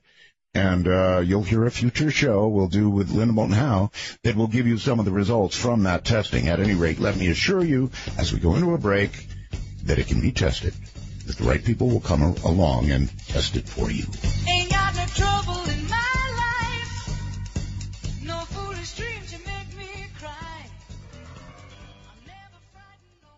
Right, good evening. My guest is Jeremy Meador uh, from Las Vegas, and he has been investigating a alleged uh, crash in Ely, Nevada, back in uh, 1952, July 7th of 1952. Now, thus far, we're talking about witnesses who have seen what? Aliens with pincers. There were uh, possibly as many as 16 bodies. He has had a Men in Black sort of experience on the phone, I would say, more than uh, in person. He has interviewed people who actually saw other people, and I, I, you know, some of this is pretty important eyewitness stuff, actually crawling on a UFO, crawling on a UFO. It destroyed some train tracks, turned them into virtual pretzels, he said. Um, it's it's coming out in sort of starts and stops and spurts. The story that is, but when you consider the totality of the story, and you consider that there's actual physical evidence to be examined, as well as a crash site, it adds up to quite a story. Now it is coming out sort of in somewhat disjointed pieces, and some of that may be my fault for asking early questions, uh, or questions that should be asked later, early, however you want to look at it. I don't know. Jeremy, uh, uh, welcome back. Now, it, the whole the totality of your story is significant, and it seems to me that it's so significant that MUFON or some other very large organization should move in based on just what you've found and the witnesses you've talked to, and conduct a, a real downtown investigation. What do you think? Um, I actually contacted MUFON and they weren't interested. I, I already sent them four or five emails talking about my material and Really? uh, they haven't showed any interest. Did kinda they weird. say? Did they say why? Um, I just don't, I don't really know. I don't know if they don't believe me or what. I know I talked to Stanton Friedman and I talk to him all the time about it. He fi- he finds it really interesting. I guess. I don't know. I'm not exactly. I don't recall what the chapter, the Nevada chapter's leader, what his name is, but I sent Right. him a couple emails. There's like a secondary email on their website. I wrote them, and they never really replied back. So I don't know. It seems like they're not very interested, or I don't know exactly what's going on. Has anybody, I mean, in a real investigation, for example, uh, Jeremy, um, you would bring an artist or some sort of artist uh, to a witness, and you would say, "Look, what did this creature look like?" And you would attempt to do an artist drawing. You you would do, you know, the normal stuff that investigators do. Um, ha- has there been any representation to you like that? Uh, anybody who's drawn what they saw? Nobody's drawn anything. Nobody. I, every time I usually ask if I could have them draw a sketch or if I could have them talk on camera, most of the time, I don't have any sketches, by the way, but most of the time they're afraid that somebody's going to contact them or I don't know. Most of the time they, they don't want to be, have their story out to the public a lot of the time. Okay. Yeah, I, I do understand that. People are very reluctant to talk about this kind of thing, and for probably pretty good reason. But, uh, gosh, it, just begs to have more investigation. Uh, I guess you haven't, you've been doggedly pursuing it, right? Oh yeah, I pretty much eat, sleep, and breathe beauty for the most part. Um, yes. Um, what else was I going to say? I found the story to be really interesting. I, I I'm kind of surprised that nobody else has really found anything, found anything like nearly what I found. I, I don't know. I don't know exactly know why. I don't know if very many people haven't tried to find it, or if they just looked for that one specific time frame in August, or what the deal is. Uh, One, uh, you said in August? Well, they said it was August on the internet, but it was actually it happened in July. It was the 1952 incident. So I don't know if they were all looking in August, and that's why they kind of gave up if it wasn't in August, or what the deal was. Well, 1952 is a long time ago in one way and not very long in, in another way. Uh, as I mentioned, you know, if people have seen creatures, people have seen, have been climbing on a UFO, these are things that would be passed down, uh, through generations. And there'd be a story. Let me sit on my knee here and I'm going to tell you when, about the time I climbed on a UFO. That kind of thing. So those stories really are going to be around. Now you've heard some of them, but holy mackerel, this is a pretty big deal. And Jeremy, did the uh, the military when they did come in, did they cordon off the area? Wh- What did they do? Uh, you told me about the train. What about the craft itself and so forth? Well, I know they picked up the craft with a giant crane, and they hauled out the craft. He said that I guess they weren't allowed to go back to work on the railroad for I don't know how long. He didn't really say. He said they weren't allowed to go back to work for a while. Hmm. So I guess they stopped the trains going through. Claude House, the the man that got scared when we asked him about UFOs, in his story that he actually told Ed Pearce of the Reno News, he said that the actual freeway was cordoned off. So from from judging by that, I I never heard anybody else say that the freeway was cordoned off. I don't I, I don't see why it wouldn't be, but um, I guess apparently they kept the, the people out of the area at least at least on the railroad. And for judging by Claude's story, apparently they closed down the highway too. Okay. Because he said um, that uh, many people say that they were told that a small plane had crashed in the area. Is what is what they were telling everybody. That'd be the usual story, sure. So I don't exactly know how long they kept that story up, but like I said, it wasn't reported in the newspapers. So I don't exactly know how they were getting that message out at the same time. Okay. Um, have you pretty much stuck with the Ely crash, or have you been uh, involved in ufology otherwise? Well, funny story, really. There's a place called Mount Potosi. It's right outside Las Vegas. It's in between Pahrump and Las Vegas. I guess it's called Potosi I can Pass. walk out of my studio and look at Potosi if the sun was up. Oh well, Mount Potosi has. I guess there's a lot of UFO stories coming from Mount Potosi. I actually had a weird experience. What got me involved in ufology was when I was about 11 years old. I was in Scouts, and we went on this night hike in Mount Potosi because there's a Boy Scout camp up there. It's closed to the public. But we were on this night hike in the woods, and we went around this corner, and on the straightaway, I guess off to our uh, left, ironically, like off to our left, there was some kind of an object that was sitting sitting on the ground. It looked like the end of a boat, like a point, but it was coming off of an egg-shaped craft. It was sitting on three stilt-looking legs. Right. And uh, me, my mom, and three other scouts and their moms actually walked past this craft. I didn't think nothing of it at the time until the next morning when we came back and the thing was gone. You could see three indentations in the ground where this thing was sitting. I firmly believe that it was a UFO. I mean, you, you could argue that it wasn't, but I think that it was personally. And that's what got me interested in ufology. All right. Well, anyway, with regard to the crash uh, in Ely, coming back to that for a second, uh, we've covered uh, where it happened, when it happened. Uh, of course, we, we I guess we can't know what became of the creatures. We can't know what became of the craft itself. Well, I can tell you a little bit about what happened to the creatures. All right, please do. All right. Well, searching searching through the archives and the old newspapers, we came across on July 10th. I think it was the the Oregon newspaper or the Elko, Nevada newspaper, one of the two. It says that this is just a casual article, mind you, out of the middle of nowhere. They say, "Oh, well, the aliens that were brought to the Ely police station were shaped chimps. No need to worry." It was about like a one paragraph long message. It didn't have any pictures. It didn't say anything else. All what it said was the aliens that were brought to the police station were chimps. No need to worry.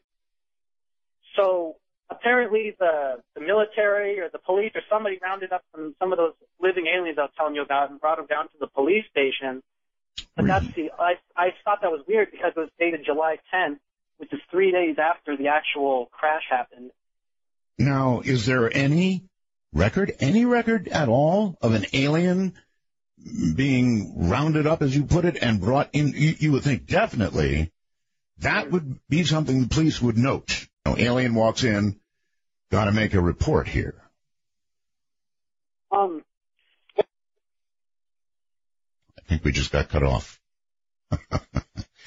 I'm sorry to hear that. Um, that was Jeremy Meador, and uh, obviously we've lost him. So it's a lesson in telephonics, folks. When we uh, when we book our guests, we uh, try and make absolutely certain that they're on a landline phone for a whole lot of good reasons. One of them was just demonstrated by that click you you heard. That was uh, his phone going away. So I don't know what to make of all of this. How about you? Obviously, we've got a youngster here telling us a story that he's collected from a number, um, a whole bunch of eyewitnesses, right? And he's got a little bit of physical evidence of some sort.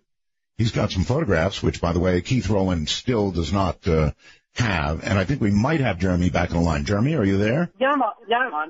Um, Uh, see, putting- this is why we don't like cell phones, Jeremy. Yeah, sorry about that. Um, I'm putting the pictures up on a private website. I could send you the link to also if you want. Now, wait, wait, wait a moment. Wait, wait a moment. I thought you were sending them to webmaster at artbell.com. I did send them. It says that they went through at. One second, it's loading. Because I, I checked with Keith uh, in our last break, and he had not yet received anything. Is there any way you could have Keith email me first and I reply to him and send it that way? Well, it's not too complicated, Jeremy. It's webmaster at It says- it says At, eight, at 841 and 825, it says that they were sent through. They were sent through. So you didn't get a bounce. I didn't get a bounce, but just in case I upload them to a, to a, a website I could send you the link to, and you could do it that way. I don't know if that would be easier. Well, at this point, um, it's not it's not easy at all. Where did you send the? Are these photographs on the web now? Yeah, right now I'm putting them up right now. You're putting them up now, I'm And- publishing it right now. and and where are they going to be, Jeremy? It's ElyUFOcrash.webs.com. Ely UFO crash. And then a period, and then W-E-B-S dot com. I think I've got it. That's Ely U. Hold on a second, Jeremy. Ely UFO crash. Period. Yeah. W E B S dot com. Yeah. That means we'll get them eventually. And it says that it was published right like a couple seconds ago, so it should be on there All right right. now. All right. Um, Jeremy, is there anything else about this story, uh, from the, the, the Men in Black encounter to the actual material evidence you have to the eyewitness reports that you have not told me about yet? Anything really important that we need to get on the air? Um, I'm thinking real quick. Um, well, I talked to the meteorology, the meteorology society in Nevada for that day, and they said that there was clear skies, and it wasn't a meteor because some people say that the blue gas behind it had it could have been a meteor. Well, they said that this couldn't have been a meteor because it was doing twists and turns and it was being sighted for a while. And I guess the one to the north, like I said, started a forest fire, and the meteorologist, meteor, sorry, getting tongue-tied here. The society was saying that when meteors crash to the ground, they're cold to the touch, like you could pick them up. These both started fires. Um, Okay, well, they're not, of course, going to be cold to the touch after they've traversed the atmosphere. Uh, they're, they're going to be very, very hot, right? yeah, that's. They were saying that the the I don't know what you call it the the descriptions of it had they were similar to a meteor, but not exactly. Um. Well, something I would like to like to say was the the crash in the 1970s or the, the UFO landing is separate from the 1950s incident, and the video that was on your website that the news station did that's actually a combination of both kind of put into one. Their facts are kind of mixed up on there. Okay. Uh, all right, so they didn't quite get it right. Yeah. Um, well, something else I'd like to mention is civilians and Project Blue Book both say that there was B-36 bombers flying low over the crash sites, like sim, like right after they happened. I guess the one to the north sooner than the one to the south, but I guess there were these B-36s flying around, like, circling the area. That's something else that I found was pretty interesting. All right. Um, is there anything further to be seen up there? If somebody goes into the Ely area now and finds the site that you talked about, are there still um, are there still things to be picked up and to be seen? Um, if you go to the, the site that's near McGill and Cherry Creek, there are rocks similar to the one that I was given out there. I didn't want to take all of them, but there are similar rocks out there. I don't know. Okay, we're having trouble with our connection now. You still there? No, we've lost Jeremy again. So sorry about that, Jeremy. Uh, I think we're going to call it at this point, and we're going to go to unscreened open lines. So go ahead and back there in uh, Washington, open up the lines, and uh, we'll give out the number, and we'll just go to unscreened open lines. Now, obviously, we just had a youngster on the air, and uh, a very enthusiastic youngster on the air. He's been looking at this for some time. I think probably he's on to something. I don't know what. I do know that the physical evidence should be examined. Um, there should be people who would go and speak to the witnesses and get some sort of description of what the creatures looked like. There would need to be a very great deal of follow-up to all of this for us to get it right. So I'm going to open up the uh, lines right now, and we're just going to take some open line calls, and you can talk about anything you want to talk about. If you want to comment on what Jeremy said, you're welcome to do it. Now, I will specify right at the top here that Jeremy didn't quite have it together in the sense that he kind of, I don't know, jumped around a little bit in the story, which made it difficult to understand on top of the bad line, but there's something here. Obviously, there's something here.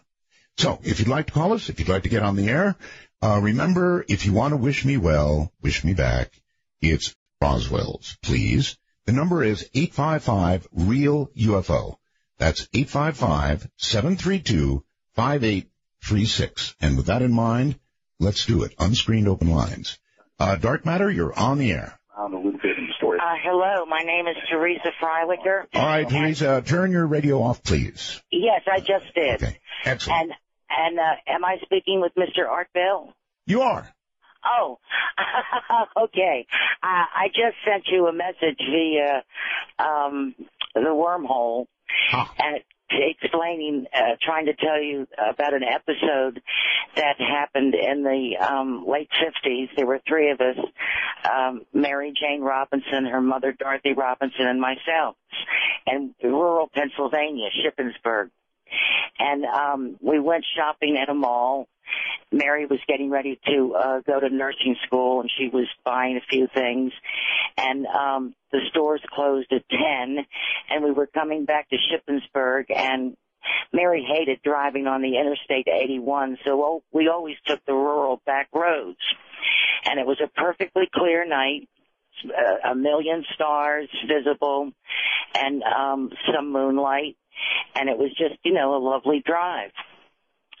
And out of nowhere, there were these lights uh, that came up behind us, and um, Mary thought somebody wanted to pass, and she put her arm up out and you know and said pass, pass, and she slowed down, and they didn't pass, and um, but they were close, and it was annoying her, so she stopped the car, and she said, I, she said, I, I want to find out what's going on, and her mother said, Mary, don't get out of this car, don't uh, just stop, let them go, ignore them. And she said, no. She said, maybe something's wrong. Ever the caregiver, the nurse, Mary. So, uh, and I also, and I was in the back seat. Sounds just like a scene out of Close Encounters of the Third Kind. No, no, it No? wasn't. No, well, I I don't think it was. But at any rate, I got out of the car as well, and I'm like, uh, I guess Mary was 18, and I was. I was 14. So I got out of the car also, and so I was on the um passenger side of the car. Mary was on the driver's side of the car, and she walked to the rear of the car, and I was already pretty much there and there was this um object and there was no lights at this time. When we stopped and got out of the car the lights were gone. And you couldn't even see where there had been headlights or anything. It was perfectly smooth. And i'll tell you what triggered this um the other night, uh, last night, when you had the guy on who said that the object that he saw that was black was like a, um, what did he describe it as? A, um, um, shoot. But at any rate, it wasn't square. It wasn't, um, oblong or like a hot dog or anything like that, but it sort of it sort of had a rise in the center from the top as though it rose. The bottom appeared to be flat, and the sides were curved but very smooth. So And you're I- saying uh, you're saying it was a craft It was a craft, yes, it was a of craft. some sort. Oh, okay. Yeah.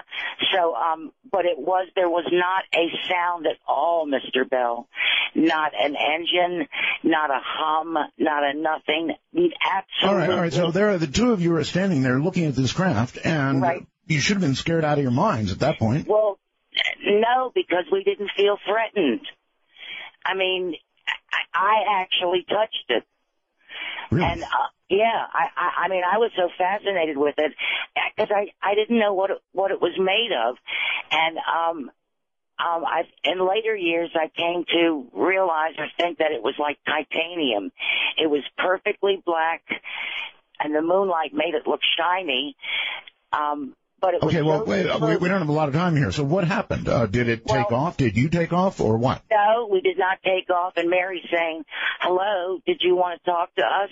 I'm not afraid, and I said, no, "I'm not afraid either." Would Really? you like to? I said, "Would you like to speak to us? Would you like to ask us questions?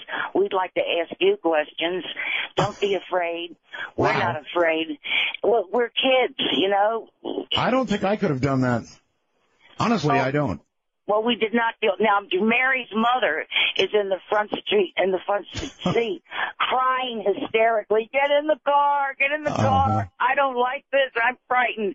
And Mary says, "Mom, shut up." and um, All right, listen, we're about out of time here, but what did the craft take off, or did well, you just this, drive away? This is the thing that was amazing. It just lifted straight up Ah. without making a sound, and it then elevated as if to go up. But while it was with us, right in front of us. It wasn't.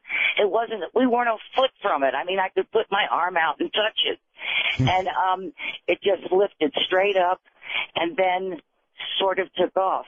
And as it took off, um, lights around it started circling, and uh, different colors, and we could see people inside, and we waved. We waved goodbye. People. People.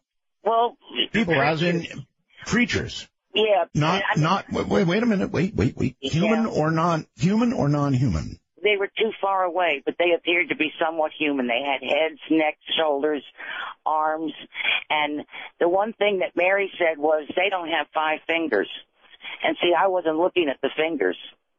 And uh, and we were waving to them, saying goodbye, goodbye, and they waved back to us. the thing, the thing that's interesting is ever since that episode, I've been intuitive. I'm an intuitive. Well, it, it obviously then affected you in some manner and may have set that off. Uh, I don't know. That's fascinating. There you have a first-hand account of what I would call close encounter of the third kind. Right? When you're that close, when you can put your hand on a craft, and when you can wave to the whatever they are is in there, I would say that's a, a close encounter of the third kind or whatever. Wow. Dark Matter, you're on the air. Hello. Is this Art? It is. Art, my name's Mike. I'm in Virginia. Hi. I, I work the water on the Chesapeake Bay, and we constantly see strange objects flying in the sky. I've tried to videotape them, and none of them have ever appeared on my uh, videotape. Well, unless you've got a really new camera and it's really good with low light, uh, you're not going to get very much. Um, it's really hard to take any video, meaningful video at night, and then end up with anything more than a light. I don't even end up with light. That's the, the whole thing. Really? Nothing appears on the, the film or on the video at all. And you've done this how many times? Oh, uh, five, six, seven times in the last year. Wow. It's just we see all kinds of strange stuff out here at night working the water, and we've tried to videotape it, and we can never get it to show up on the tape. Well, I, I'll say this, um, and I've had two experiences. Both I think I've described uh, to you at various times. And in both cases, I did not have a camera with me. In both cases, I was so shocked and so transfixed, you know, where I was, that um, I never would have thought of it. Never, never, never. Um, it would be great to say, I had a camera right there on the back seat. Could have grabbed it, could have taken a picture, could have had the proof, wished I'd had the proof, but didn't. So, I do understand. Dark Matter, you're on the air. Dark, is it you? Uh, it is me, yes. Oh, it's, it's great to hear you back on the air. Thank you. So, no, I'm just, I'm just curious. Like, how do you, and and talking in general, like, how do you not dispute everything going on here? I don't know what you mean. How, how do I not dispute what's going on? What do you mean? Oh, oh no, sorry. Like, it's between pyramids and all this other stuff. It's this ancient alien thing. Doesn't that make complete sense? Only if you put it in context. What are you saying? He's gone. I think he knew what he wanted to say. He just couldn't figure out how to say it. Dark Matter, you're on the air. Hi. I don't know what you mean. How do I not dispute? Going on with Yes. Roswell, Art, Roswell. Uh, one thing about all these different crafts, and there's a lot of different descriptions, but uh, if these uh, aliens can come across hundreds of thousands of light years, couldn't they have the technology to navigate through our atmosphere? Why are they always crashing? It's a very good question, um, and I guess the answer might be the only ones we get to talk about and see are the ones that have a problem. You know, if they don't have a problem, then they're up and gone. Well, uh, I guess I've got to have a problem every now and then. Now, maybe that craft that came back to uh, look at the crash site was looking for survivors. Maybe it was a rescue mission. Entirely possible, sure. Hey, uh, very, very good shows. I really enjoyed last week. Yes, uh, the, the uh, professor was incredible there. So keep up the good work, Art. Thanks you. All right, thank you very much, and uh, take care. Of course, we had a couple of professors on, so I would assume that you're perhaps talking about Dr. Uh, Kaku. Dark Matter, you're on the air. Hello. Hello, uh, is this the screener? No, I don't have a screener. Oh, this Art. I'm sorry, Art. Hey, I want to ask you a question. Um, Yes. Are you going to have a show here recently about rods? Um, you're talking about Jose Escamilla, right? Exactly. The, the, the rods that, you know, you see out of the corner of your eye. Okay, rods are not so much seen uh, in the corner of your eye. Rods are actually able to be photographed. Yeah, I'm, I'm sorry. I'm sorry. You're right. Uh, no, no, uh, actually I'm thinking about was the, um, the, um, shadow Sha- people. shadow people. Yes, they they they come to the corner of your eye. Rods. Yeah, They- rods are, are the white streaks that you can. Yeah, they're they're moving very quickly. Exactly. Uh, What what is your what is your what is your point of view about that, sir? Do you think that, that rods are the real McCoy, or do you think they're? A lot of people say, for example, they're bugs. No, no uh, Art, I've, I've seen them a thousand times. I mean, uh, I've had, I mean, rods and shadow, shadow people, but the rods, um, I, I see them all the time. There's the white streaks in front of my eyes. I mean, I, I actually see them. I don't know. I mean, I think most people I think most people do not see rods that they're too quick for the eye. Uh, we all see a little thing that I think floats across our eye every now and then, if that's what you're talking about. maybe an eye floater. Yes. Could be. All right, all right. Thank you very much. But uh, what he was really talking about, that's a whole other subject. Rods. Jose Escamilla is a very interesting guy, and he's put together, I think, um, absolute proof that these rods really do exist, that they are some sort of life form, and they can be photographed uh, with very high speed film, and he's got lots and lots of uh, photographs, even video of rods. Uh, there's a particularly impressive one which occurred in a cave, and these rods were flying all about this cave. It's really amazing. Anyway, listen, we're going to break here. We're in open lines now, and anything you want to talk about is fair game. I'm Art Bell, and this, this is Dark Matter.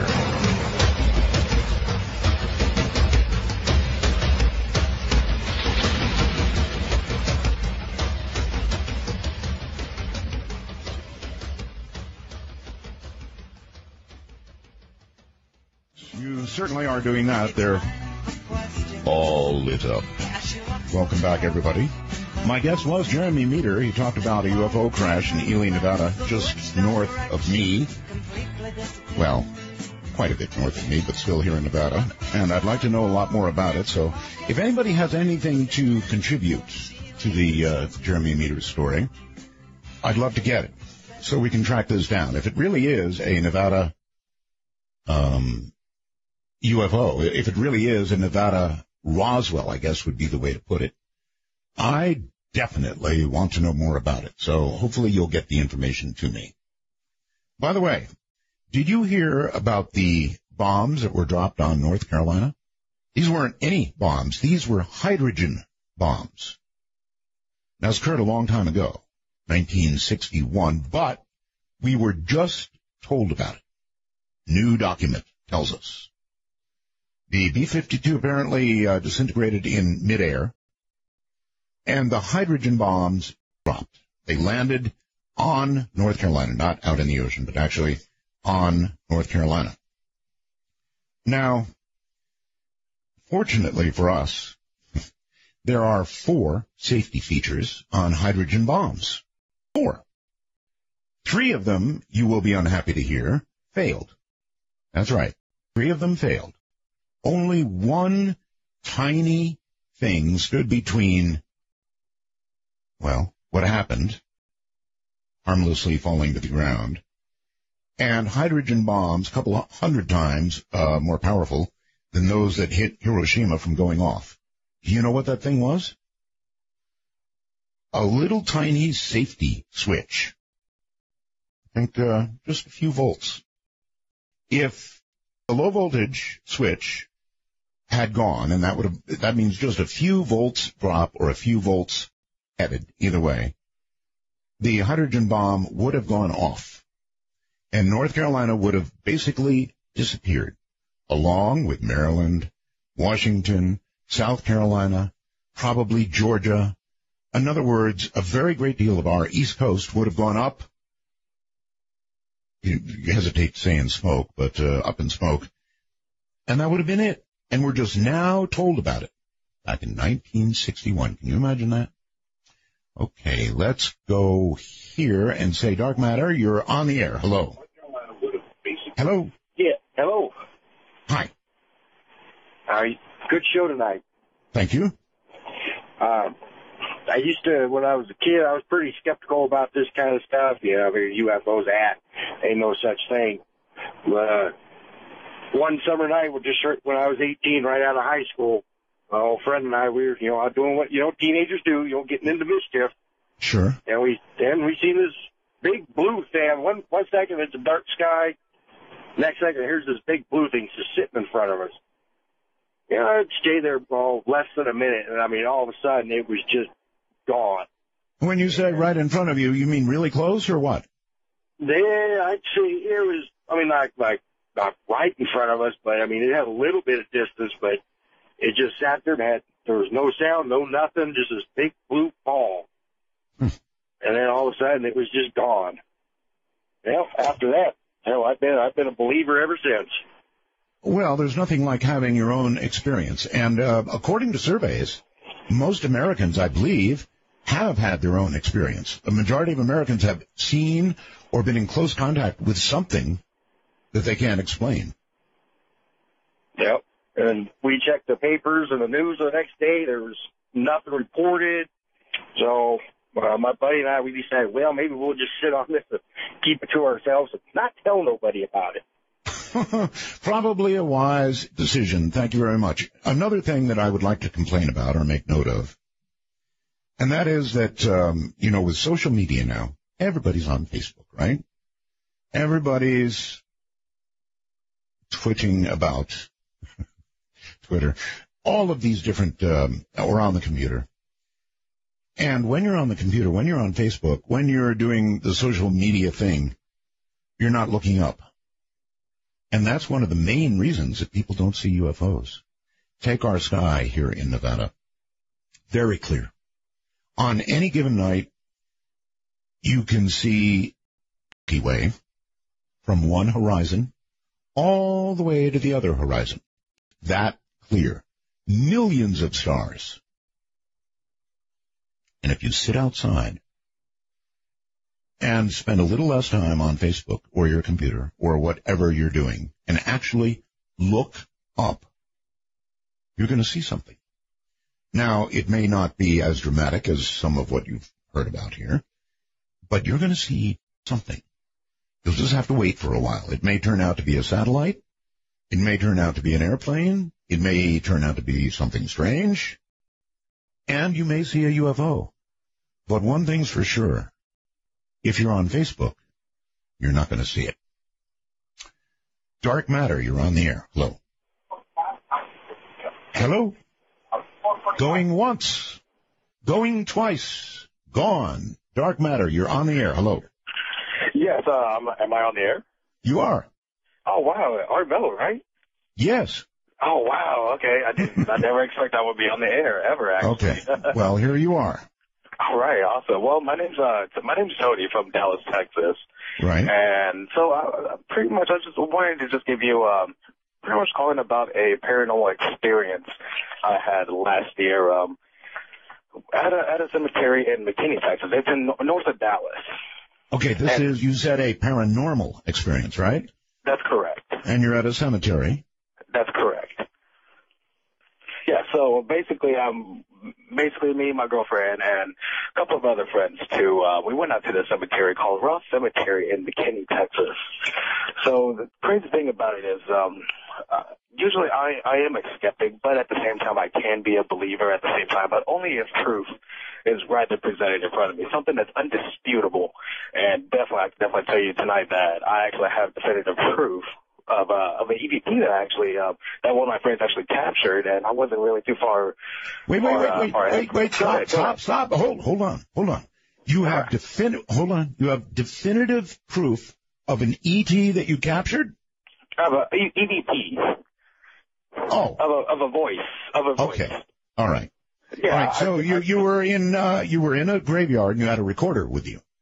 That's correct. Well, my friend had it recorded. It was actually from his cell phone, but you can actually hear it very well. Actually, I, I have uploaded it on the website um, a couple of, I want to say sometime last week, because I've always been very, um, I've been very scared. I, honestly, that's the way I felt. I've always been kind of very scared, kind of shied away to see if I could putting out uh, paranormal evidence out to my friends. Okay. What you're talking about is, okay, you're talking about an electronic voice phenomenon. Um, you were in, okay. Do you actually, do you have it with you right now? Yes, I do. Um, I can actually email you the link, um, whatever email I can send it to, or I was, Yeah, I I- I say, just play it, play it. Let me hear it. Okay. All right. Yeah. Sure. Let me just grab it real quick. Um, I, Yeah, go ahead. give me. Give me Uh, we're going to do it. Yeah, I'm waiting. Uh, I'll wait. We we will do a show on EVP, electronic voice phenomena. And this man went. This man went to a graveyard, and apparently somebody had a recorder going on a phone, and captured what you're about to hear. Right here it is. Right here. Let me just go ahead and skip over to the last minute because it's a three minute and thirty nine second EVP. But let me go and skip over to the last minute of it because you can definitely hear it. Um, look look for something that that says something um, whispering, "Come out and play." Here it is. All right.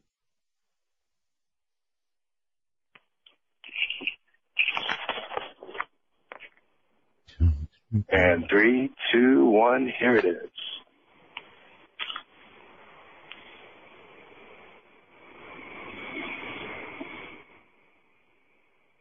All I hear is hiss. Did you hear that, Art? No. Let me try it one more time for you. Follow me. Okay. All I heard was hiss. Let's see. Oh, I did hear it. I did Here hear it. again. Yeah. And it said it oh. twice. And yeah, and li- it's a little hard to hear, but I heard it. Yeah, and then in that last part, my friend uh, saying you bore me. Um, the crazy thing is that the cemetery is extremely old, very, very extremely old. Um, I want to say we found graves going back to the 1700s, late 1700s on that. Um, it's it's it's always scared me hearing this voice. It always gives me chills. Um, I've always been somewhat of a skeptic, but at the same time a believer. I, I guess you could say you could catch me in the middle, um, depending on if evidence is there, and I'm glad I've actually found this evidence. I'm glad you did too, and I'm glad you played it for us. Uh, probably would have been better out, you know, of course, directly coming over, but I, I could hear it. EVP has a long, rich history. I have some friends that we're going to have on the show. Uh, they have some family difficulty right now, but uh, uh, they're going to come on the show, and they've been playing EVP for years for me. And all it requires is a recorder. I guess you can use your phone. It doesn't matter if it's digital or if it's tape. And what you do is take it with you to, if you have the cojones for it, into a graveyard or a haunted place, and you let it run. And if you're lucky, I mean, that's what you want, and you're lucky, you will hear a voice telling you something. Now, I don't know where this comes from. What I do know is that it goes all the way back to Alexander Graham Bell. He was investigating this. He had voices that appeared on his recording mechanisms. And frankly, they're very, very scary sometimes. So, if you want to play around with this kind of thing, it's, it's better than Ouija board and uh, more fun to play with. You just start a recording going in a place that you think might be haunted and see what you get. Dark Matter, you're on the air. Hi. Yeah, hey, Art, how you doing? Okay, sir. Um, I got a quick story. I was in uh, California, and uh, I was basically babysitting my mom's apartment. She had taken a, a week vacation to Las Vegas, and I was laying on the couch watching TV, and she had a big mirror on a mantle above the fireplace, and I had the sliding glass door shut. You know, there was no wind, and the uh, mirror like flew off about three or four feet, and it shattered, and it shattered face, the, with the mirror facing up, and it scared the heck out of me. And um, I called my mom in Vegas, and I said, "Hey, you know, the mirror just fell off," and she had gotten woken up basically at the same time, hearing footsteps walking across, you know, by her bed. You know, so it was a weird, you know, thing at the same time because I called her 30 seconds after the mirror had crashed. You know, and, and I figure if you know if there was any wind, the the, the mirror would have just went straight down. So what, what? Yeah. Okay. So what do you think it was? I I don't know. Um, I spoke to a lady who does paranormal investigations, and she was saying that a lot of spirits are using mirrors as a portal. Right. And I was Yeah. like, well, why would they break it? You know. I wonder. Anyway, You know, I wonder. I wonder what it is about a mirror that lends itself to paranormal occurrences. That's a very interesting question, actually. Yeah, yeah, I'm not sure. And, and I've I've stayed at her house before, and like, in, it's just a small one bedroom apartment, you know. And in the hallway between her room to the bathroom, I've seen you know dark figures like, you know, shoot across the little entrance to get into the hallway, the little doorway. So I don't mm-hmm. know what it was, but it's weird that that crashed. And then I called her, and she got woken up by footsteps walking by her bed, and there was nobody there. You know, so I'm, it was kind of, it, scared me, you know, so I couldn't go to sleep. I understand completely. Thank you. What is it? Uh, I, I'm sure somebody out there can help with this. What is it about mirrors, even staring into them, that seems to heighten the paranormal possibilities? Anybody have any ideas? I suppose we could talk about looking into your own soul, self-examination. I really don't know, but there is something about mirrors, isn't there? Somebody out there will know. Hello there, Dark Matter. You're on the air. Yes. Do we talk about shadow people? Uh, we can indeed. Uh, turn, turn the radio, turn the radio off, please. Oh, um, um, it doesn't always go out there. That should be off now. Um, I believe that I was touched by a shadow person, or I should say, I believe one ruined my death. You, one did in- what? I'm sorry, one did what? ruined my death. I back in 1990, I had created this scenario where I was extremely depressed, was going to end my life. Yes. I blew up my trailer, literally. My God. And uh, as I was being shoved to the floor from the pressure of the trailer exploding, this black figure appeared beside me, picked me literally off the floor, said, "It is not your time to die," and threw me through the wall. Wow. I think, I think and believe that shadow people are here to be our guardians. Well, that one was there for you, that's for sure. I, I don't know if they're all like that. Thank you very much for the call. All right. That uh, creature, or whatever it was, saved him. Do I think they're here for that generally? I don't know. Wonder if anybody else has had a similar experience.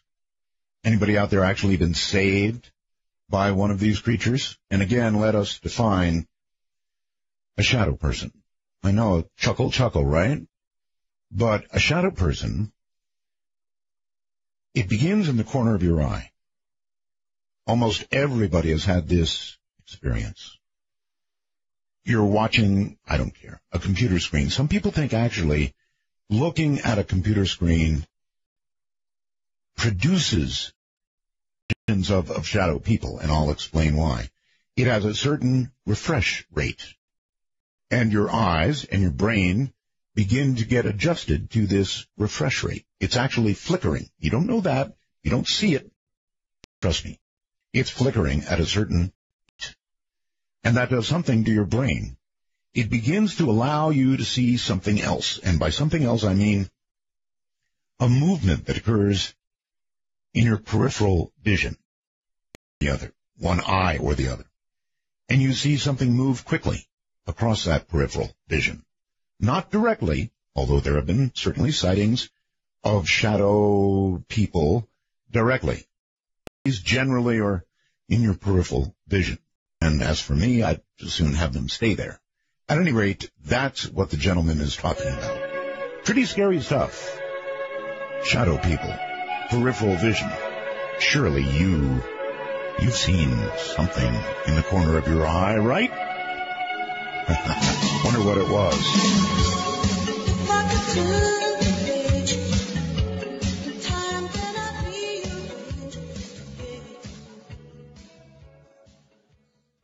Right. We're in open lines. Anything you want to talk about is fair game, and I mean anything. You've already had a little sampling.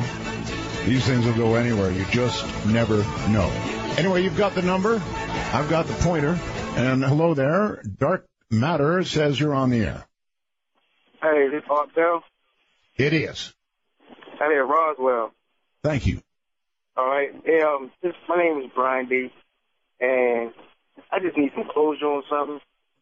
Okay. All right, uh, all right. Now, when I was young, maybe about like eight years old, um, I had a little uh thing that went on with me uh as a child, as far as like the house.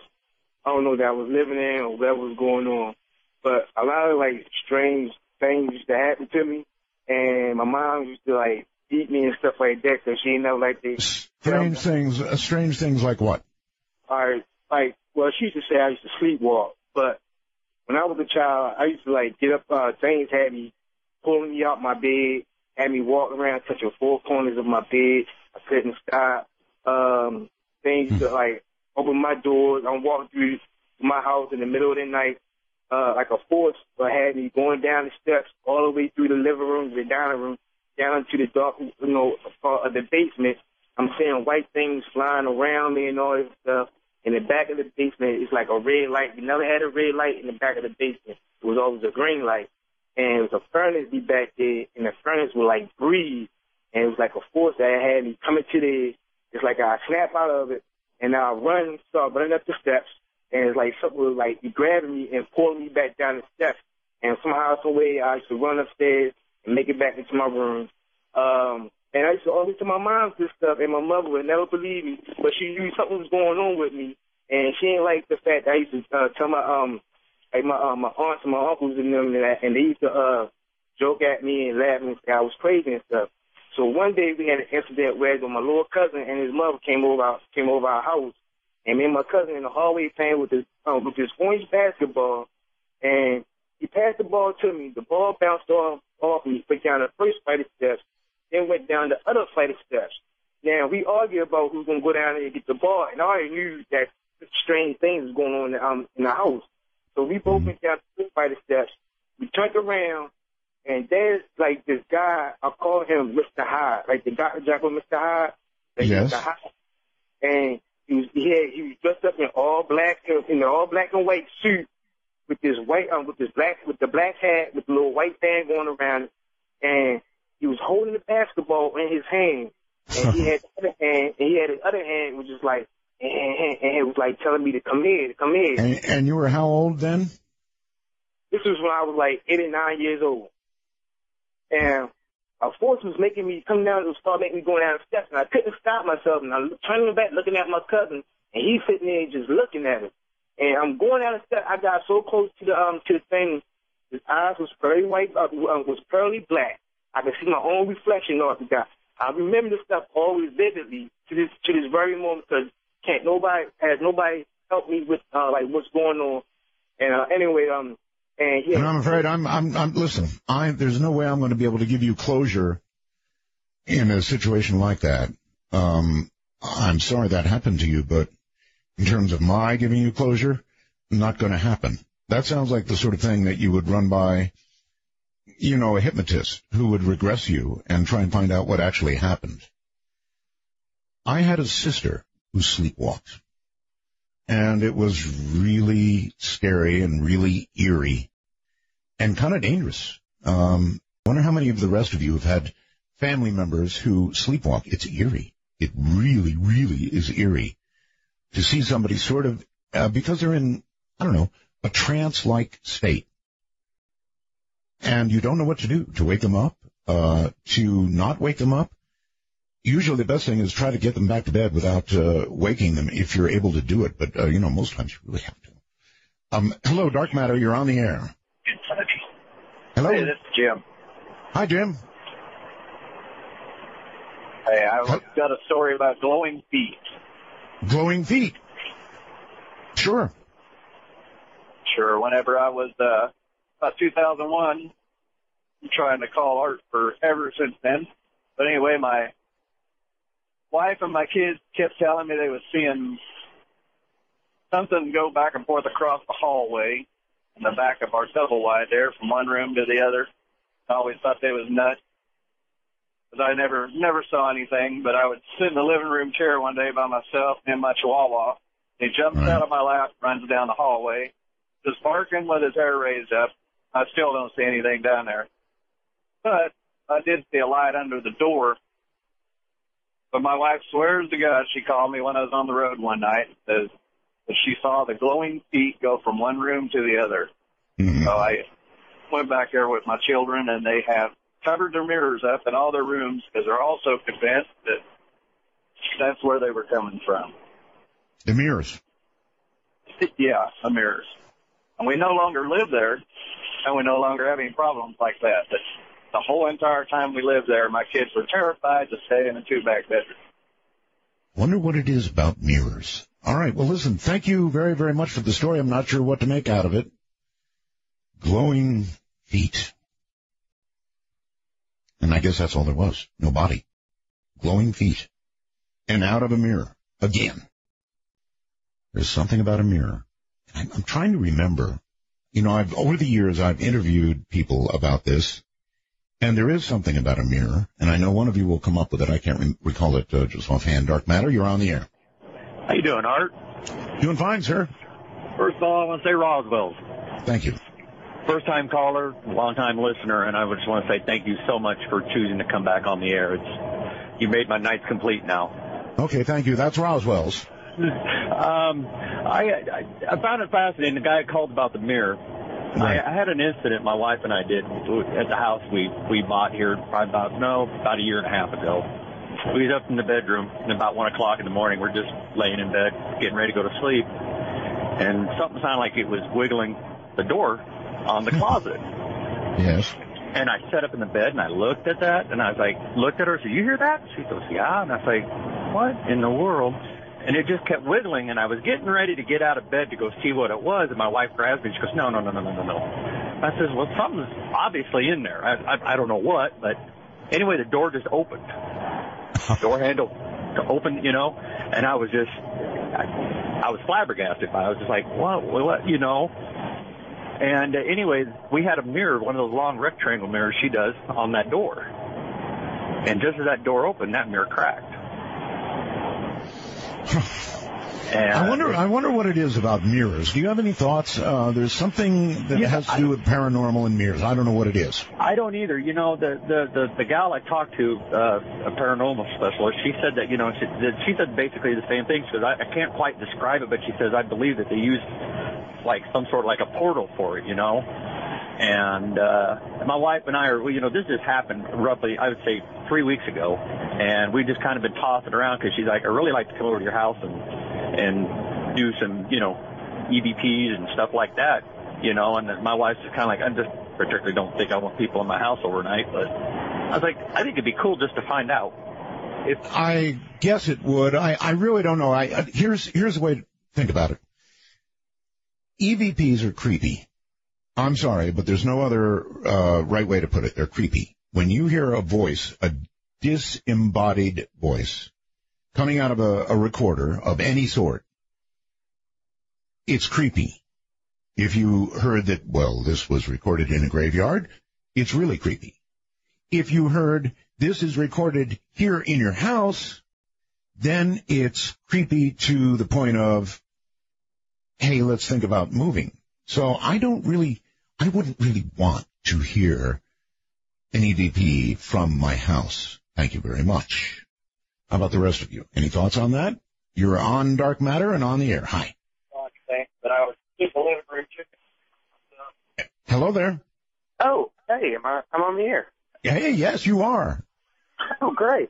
Uh, my name is uh, Patrick. I'm from Georgia. Yes, Patrick. And uh, I just uh, want your opinion. You're breaking up, Patrick. You're breaking up. Oh, can you can you hear me? I hear you, but you're every now and then breaking up pretty badly. Oh, I'm sorry. I'm sorry. Can you hear me now? I do. Okay, thank you. Uh, yeah, you. I've been listening to your show uh, for a long time, and uh, you uh, talk about subjects about uh, you know, uh, things that go bump in the night and all sorts of weird manner of people and things. And I was just wondering if you had heard about these uh, these people who dress up in animal costumes and run around the place called furries. Furries? Yeah, they they they dress up as all sorts of different animals and go to conventions. I don't know if it's paranormal. Well, it's, I, it's definitely extra normal. Are they Trekkies? No, I kind of. I don't know. They they just they're crazy things. I don't know, but um. Yeah. Yeah, I don't know. I was just. Uh, Well, just- let's I try just- this. Are you a furry? Well, well, I don't know. Come on, let's let's hear it. Maybe. What do you dress? What do you dress up as? Oh well, let's see. Sometimes, uh, Now we're getting to it here. well, uh, sometimes it's a lion. A lion. Yeah. Okay. When you dress up as a lion, do you find that people um, are surprised? Do they get upset? Do they laugh? Do they run? No, well, they they laugh. They seem they seem to like it. Seems to be a, a thing that makes people happy. It's a happy. It's a, it's a happy suit. It's nothing. It's not like a voodoo mask. It's a, it looks like a football team mascot. Uh huh. Okay, well that's okay if you're on a football field, but you know if if if you're in somebody's living room, it might they might be very upset. Just break through the wall. Mhm. Yes, exactly. All right. Uh, so there you have it, a furry. How many other furries are out there? The Lord only knows. People who like to slip that fur burden thing over their head and go and see the neighbors. That's funny. Furries. Hi there, Dark Matter. You're on the air. Hello, Art. How you doing? Hello. Just fine, sir. Where Hey, where are you? This is Bill. I'm in the high desert in California. Okay. I need to start asking people where they are. Okay. Go ahead. That's where I'm from. Anyhow, I know all about Ely, Nevada. Uh, I was responsible for all the electronic systems that went from California to Utah, including that radar site that was on top of that mountain looking down into Ruth. You're telling me that you know all about Ely? I know all about the town of Ely, the surrounding area of Ely, Cherry Creek. I've yeah, been but, there. yeah, but you you know about you know about the crash? No. I don't know about the crash, and I went up there for 25 years, and no one up there could ever tell me about it. I've been to the Railroad Museum. I've gone through it a few dozen times. Have you heard have about the never crash? found anyone that could tell me about the crash. I'm sorry, but I wanted to let you know there are a lot of miners up there, so if anybody goes there up there to check things out, be very careful. Oh, that, that you're right. This was in nine, in July of '52. Yeah, I wasn't back- there then. Okay. No, I was I I worked for the military, for the Air Force at Edwards Air Force Base, and so for 20 years I had to go up there at least six times a year and spend a week or two up there because I had 19 sites, microwave sites, including that Right. radar site from Utah Right. back to Edwards and across Area 51. Mm-hmm. I had one that looked right down over Area 51. I used to go up there, and after the helicopters let me through, after I finished my work that I had to do, I would wait, wait a down minute. Wait, why did the helicopters let you through? Because I was authorized. I have a site on top of the mountain that looks down over Area 51. Well, okay, then you can probably tell me quite a bit bit about Area 51, right? I can just tell you kind of what it looks like from sitting on top of the mountainside, looking down at it with binoculars, eating my lunch. Well, almost everybody can do that, right? Binoculars, mountainside. You can't get up on top of the mountain anymore. They've got all those roads blocked off, and a black helicopter comes out to check you out when you drive up there. You know. Okay. Well, what have you seen? I've seen just things on the ground, normal things, regular things, nothing unusual. No flying saucers there. I've had B-52s fly over me at 100 feet, going up and down those valleys, up through those valleys up in there. Boy, but I've never seen any UFOs, and I've never seen anything unusual. Now, I might have seen some of the uh, uh, the stealth fighters when they were coming along. You know, when they were initially being tested. Oh, no, no, wait a minute. Now you've seen stealth fighters. Oh yeah, I've seen the stealth fighters, the stealth bombers. I've seen all that. Hmm. But that no- doesn't help you out as far as the crash goes. I'm sorry, I've never seen anything about that. I hope there's something there. Uh, and I used to have to drive right up to Cherry Creek, and uh, there is no big towns up there. It's just one or two buildings. There might be some people in them here and there. The railroad is still there. That railroad was used to haul the ore from the Ruth mine, which was their largest co- open copper pit mine, up to McGill, which was the processing plant for processing ore into gold and silver. All right. Well, you heard Jeremy Meador's story Yes, uh, about it, right? Yes, I did. Um, other than the fact that he was a little splintered in the way he told it, wh- what did you think of the story? It was a very interesting story. Uh, he was a little bit discombobulated, but other than that, if he'd have gotten a little more uh, into it or knew more about the area, I don't know. I knew a lot of the areas he talked about, but then, uh, anyhow, I think, uh, you know, I think it's, it's a good possibility, but I'd never heard of it.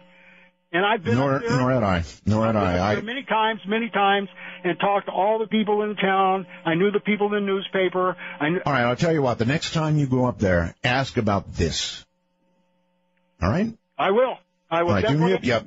All right. I'm sorry. Thank you very much. Please do that. In other words, if you really do frequent the area and know people up there, then by all means, to say, hey, listen, I wonder if you know anybody who knows about a crash, a UFO crash that was said to have occurred here back in 1952. In other words, don't uh, don't come at it, you know, kind of like you're an MIB or something. Just you know, kind of casually say, what do you know? Dark matter, you're on the air. Hi, Art. Hel- Minnie hello. Roswell? Thank you. Yes. Minnie Roswell, this is Levi from Tulsa calling in about Levi. your question on the mirrors. Yes, sir. And I've always had a lifelong fascination with the occult, and I'm also uh, practice witchcraft. And the reason why we use mirrors is because they are a portal. They allow you to see the reverse and the opposite side. Which is And like they, I take it they allow the opposite side to see you. Yes. Uh, fact is, one a couple of uh, more well-known among some circles is like when you're summoning a jinn, you use a mirror as a primary source, Right. and then they can see you, you can see them through that kind of discussion. Same with like scrying, the mirror allows you to see the other side. Scrying, that's it, yes. So yeah, that's pretty much the re- main reason why people use mirrors is because, and why the paranormal is attracted to them is it allows you to see the other side as a portal. What have you seen through mirrors? Uh, I've, me personally, I've seen a few paranormal experiences, mostly friendly ghosts, I hope. I usually keep a lot of my mirrors covered in my house because of that reason. Because Oh, I've also, really? yeah, because I'm also attuned to the supernatural, so I get senses, I get feelings, I see glimpses, like they're trying to talk to me. My family traits for a while. The only thing I want to see in a mirror is myself, and I'm not wild about that. Yeah, um, if you're not open to it, or you tell them they're not welcome, usually they don't come to the mirror. But you have to reinforce that they only come when you want them to. Otherwise, I'm going to try and remember that. Uh huh. In other words, mirror, mirror on the wall, don't show me anybody else at all. uh, you could do it that way. You, usually, when I'm when I'm dealing with them, I just tell them in a firm voice, "Please leave, not right now." And usually, I don't have to worry about them after that. All right, well, I'll, I'll certainly keep that in mind. Thank you very much. You're welcome. Bye. Mirror, mirror on the wall. No, thank you. I've seen it all. Don't want any moving figures, no wispy figures, no ghosts, no goblins.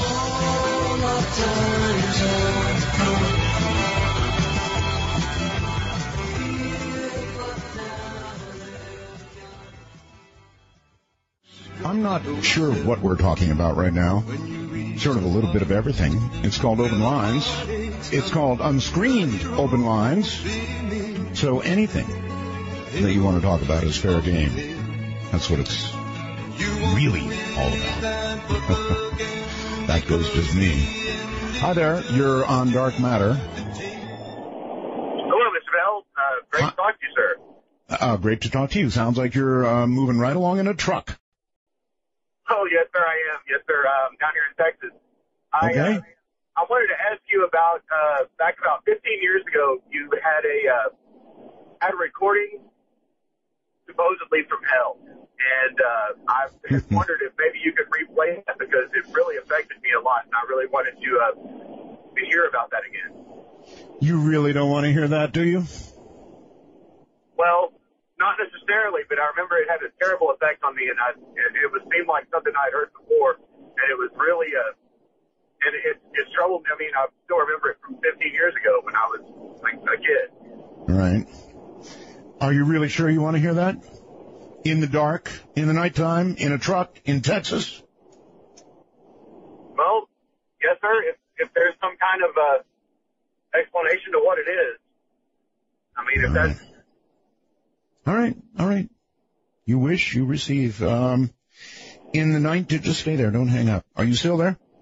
Good. Yes, sir. In the 1980s, Russian scientists in Siberia were performing a series of borehole experiments. These digs were typically performed for purposes of geotechnical investigation and the location of rare mineral deposits. But in this case, the geologists in Russia simply wanted to see how deep they could go. This is a true incident, or at least a reported incident, was in the wire service. Uh, their experiment began without incident, but when their drill reached the nine mile mark, that would be deeper than anyone had ever drilled before, its rotation became erratic. They had apparently drilled into a hollow opening underground.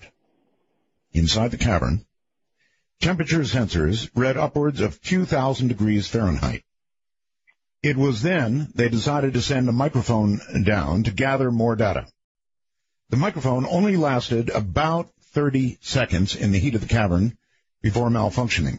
But in those 30 seconds, the scientists caught something incredible on tape. yes, sir. I, here I it remember it very clearly.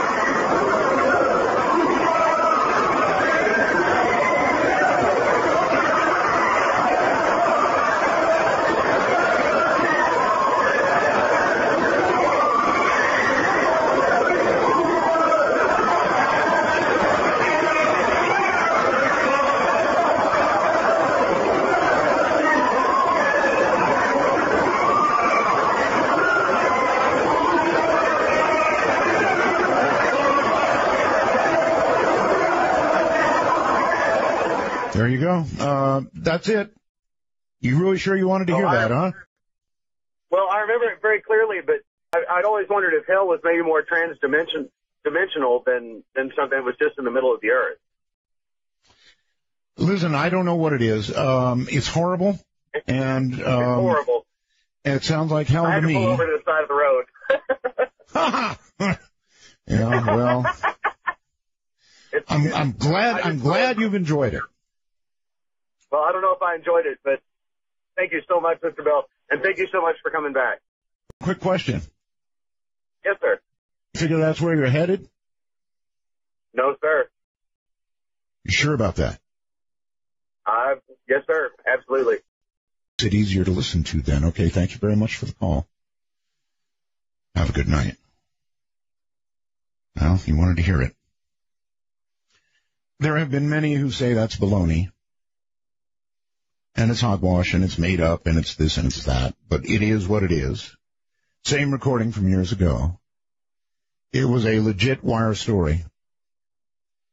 And it may be so much hogwash, or maybe not. You decide. Dark Matter, you're on the air. Hello. Hello, Art. Um, Hi.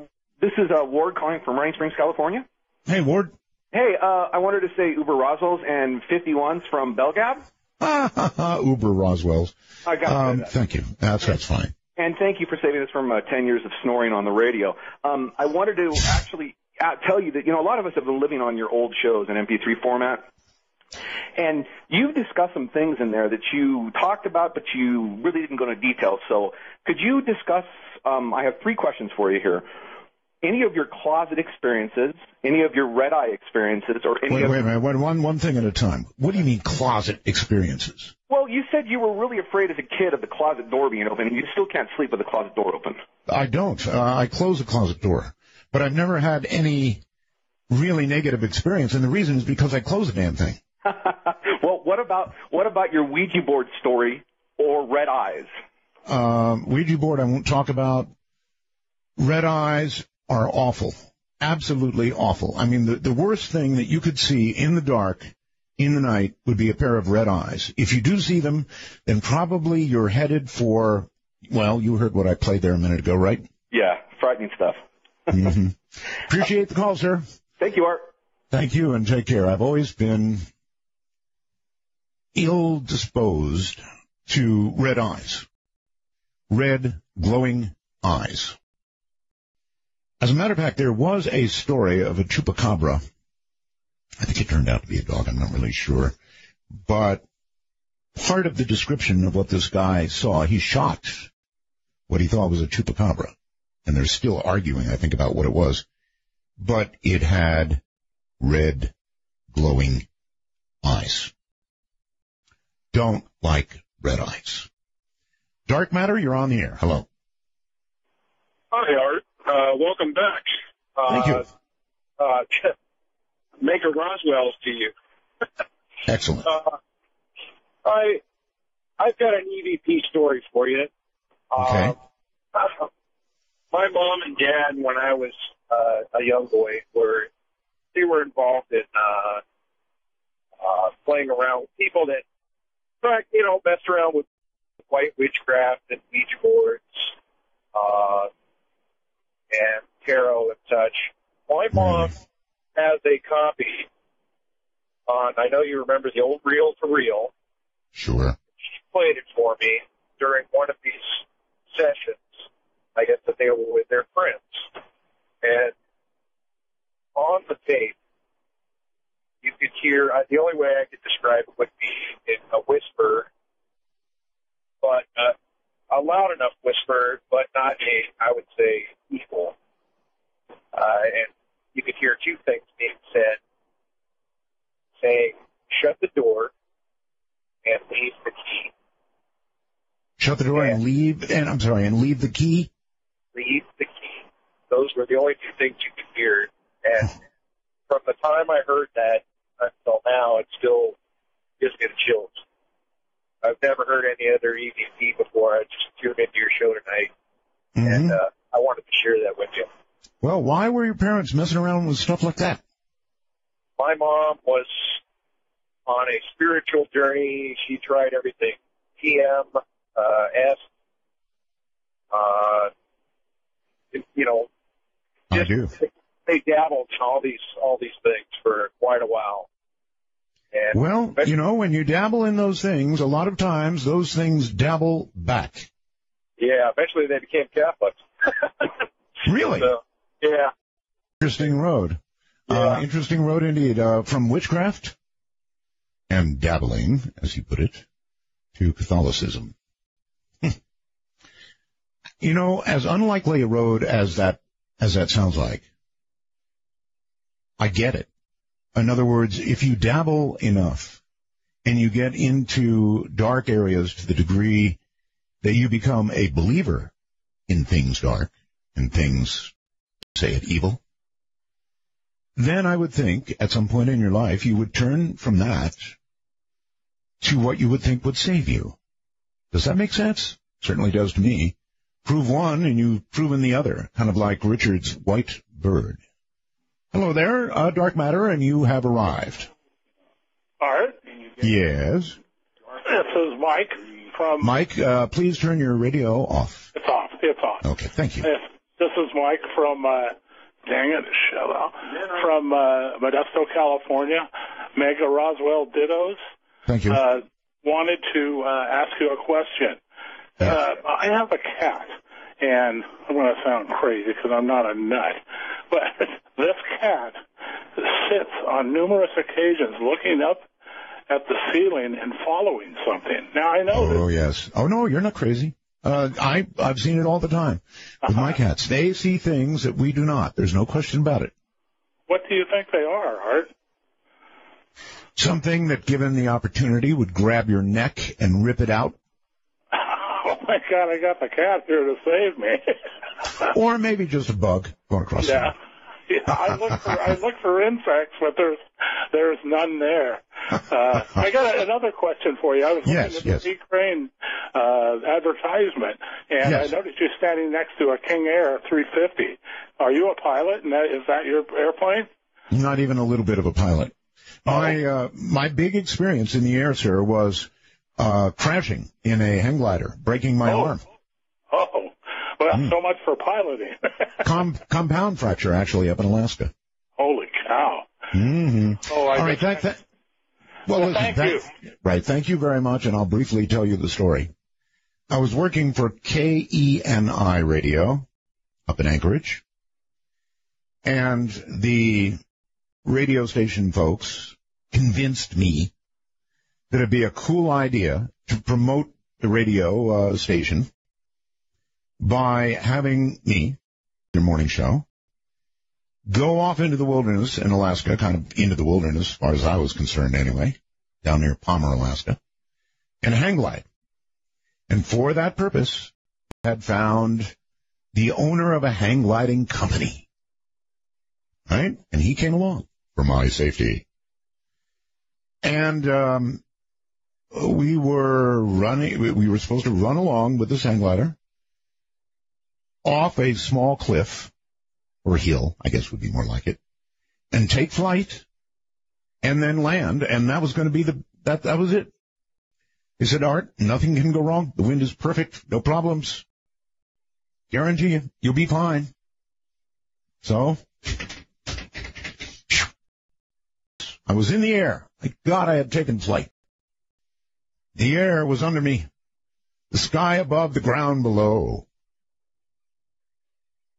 And I think that I was probably airborne for about 10 seconds, maybe 12. And then that which could not happen occurred. As I was uh, lying on the ground with uh, my bones sticking out, the guy said, you know, I'm really sorry. He said, I'm sorry, Art. That wind came out of nowhere. That crosswind came out of nowhere. And I looked up at him and I said, and I was kind of numb. I said, you said it couldn't happen. I don't, I don't remember what was, it, what was said after that. And, uh, on the way to the hospital, everybody donated their drugs to me. And so by the time I got to the hospital to get the arm set, the doctor looked at me and said, he's had enough. Dark matter, you're on the air. Roswell, Art, how are you tonight? Okay. Kind of enjoying open lines. Oh, it's very, very good. Um, I have a quick question about that audio clip you played in the first hour. Um, it said the name Peter Gersten, and that made my ears perk up. How Oh, old yes. is that audio clip? Well, pretty old, um, in the sense that, you know, Jesse Marcel was on there, the original Marcel. So pretty old. I, I thought very revealing. I mean, here we have a man who knows aircraft up and down, inside and out. And the man said it was not one of our aircraft. You know, this was absolutely out of this world. And what do you say about that? Well, well, I I just don't know, but I, I heard Peter Gersten's name, and I actually met him a couple of years ago in Sedona. Sure. Peter Allen Gersten. Is this the same Peter Gersten? Absolutely. Okay, okay. Well, I didn't realize he was involved that much with Roswell. When I met with him, they were, he was really stuck on talking about the uh, some of Michael Talbot's theories about the holographic universe, and I didn't even really get to ch- the chance to visit with him much about some of his research with the Phoenix Lights and with other UFO cases because he was he was really devout in trying to spread the message that this that there's that we're in a big matrix and that matrix is breaking down. So I just wanted some clarification from that. Thank you very hard. And Wait, wait, wait, wait, wait, wait, wait, wait. Matrix, uh, do you believe that there's any chance, sir, that we are all living in a matrix, that we're all, um, actually science is looking at this right now and getting ready to try and test for it. I mentioned this to, um, uh, yes, professor I heard, we I had heard on. that over the over the air the last couple of days, and I, you know, I think that the answers are are definitely out there. I went down to Sedona for a uh, Indigo Children gathering here on 11/11 of 2011, and that's when I got to meet Peter.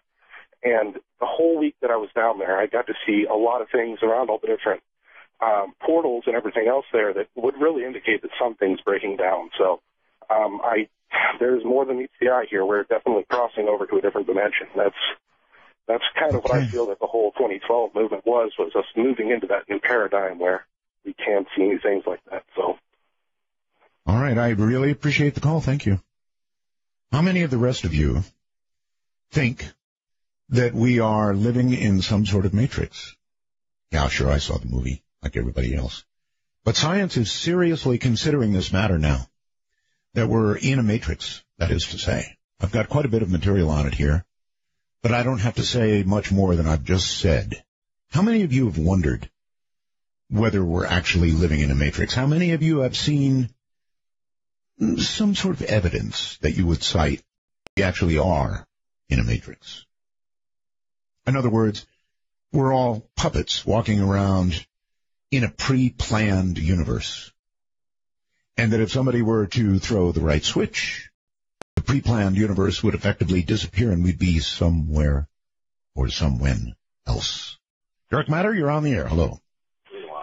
Uh, yes, sir. Uh, Hi. Turn your radio off, please. Always first. Everybody do that. Okay. All right, there we go. Okay? Okay.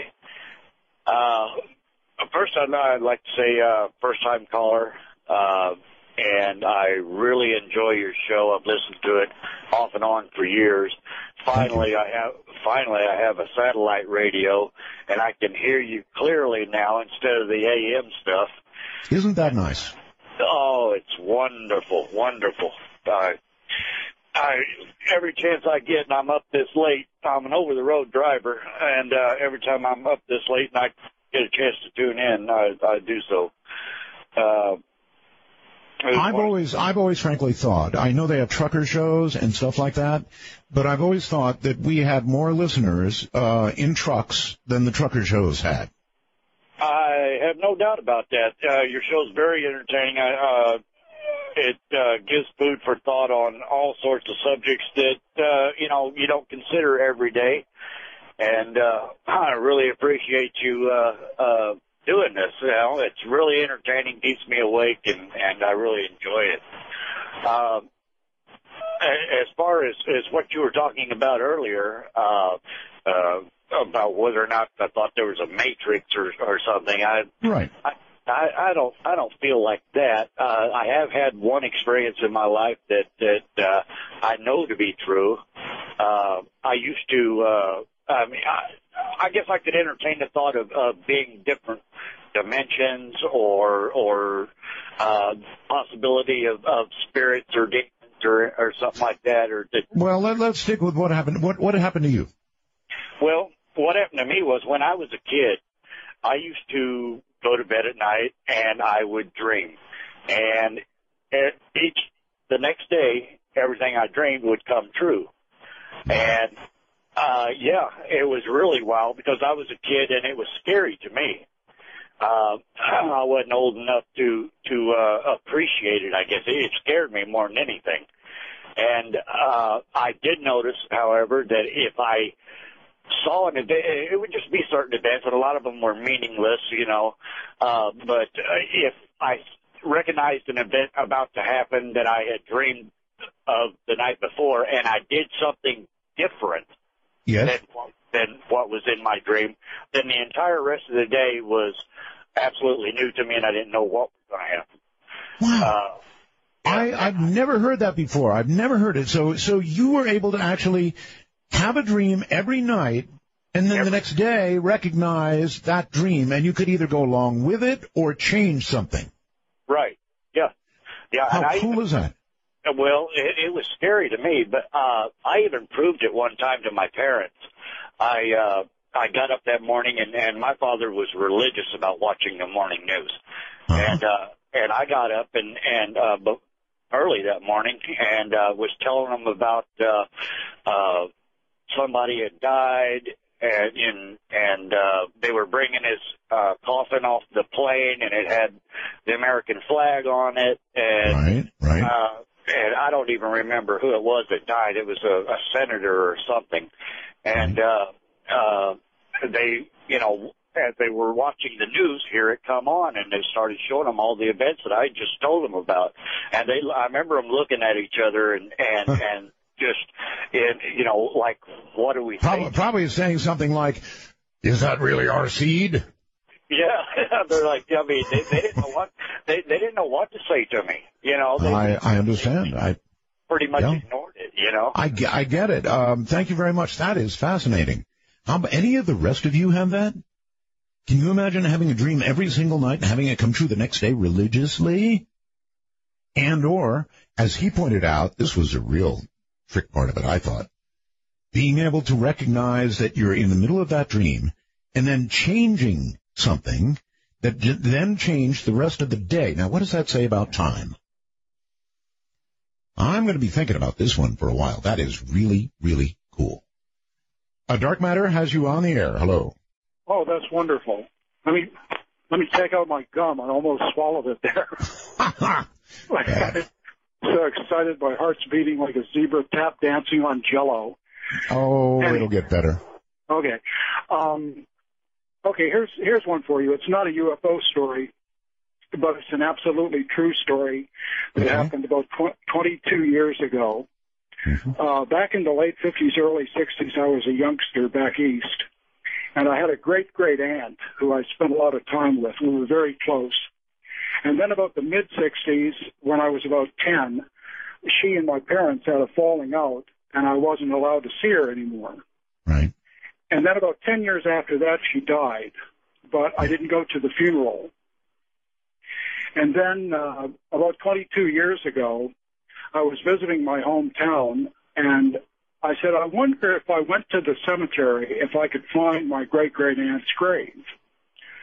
So I, I had been there as a child, uh, maybe when I was six or seven, and I, I barely remembered how to get to the place. I ended, I drove and I ended up on a side street, but it was next to the cemetery. So it was a nice day. I got out of the car, walked along the edge of the property where there was a little stone wall.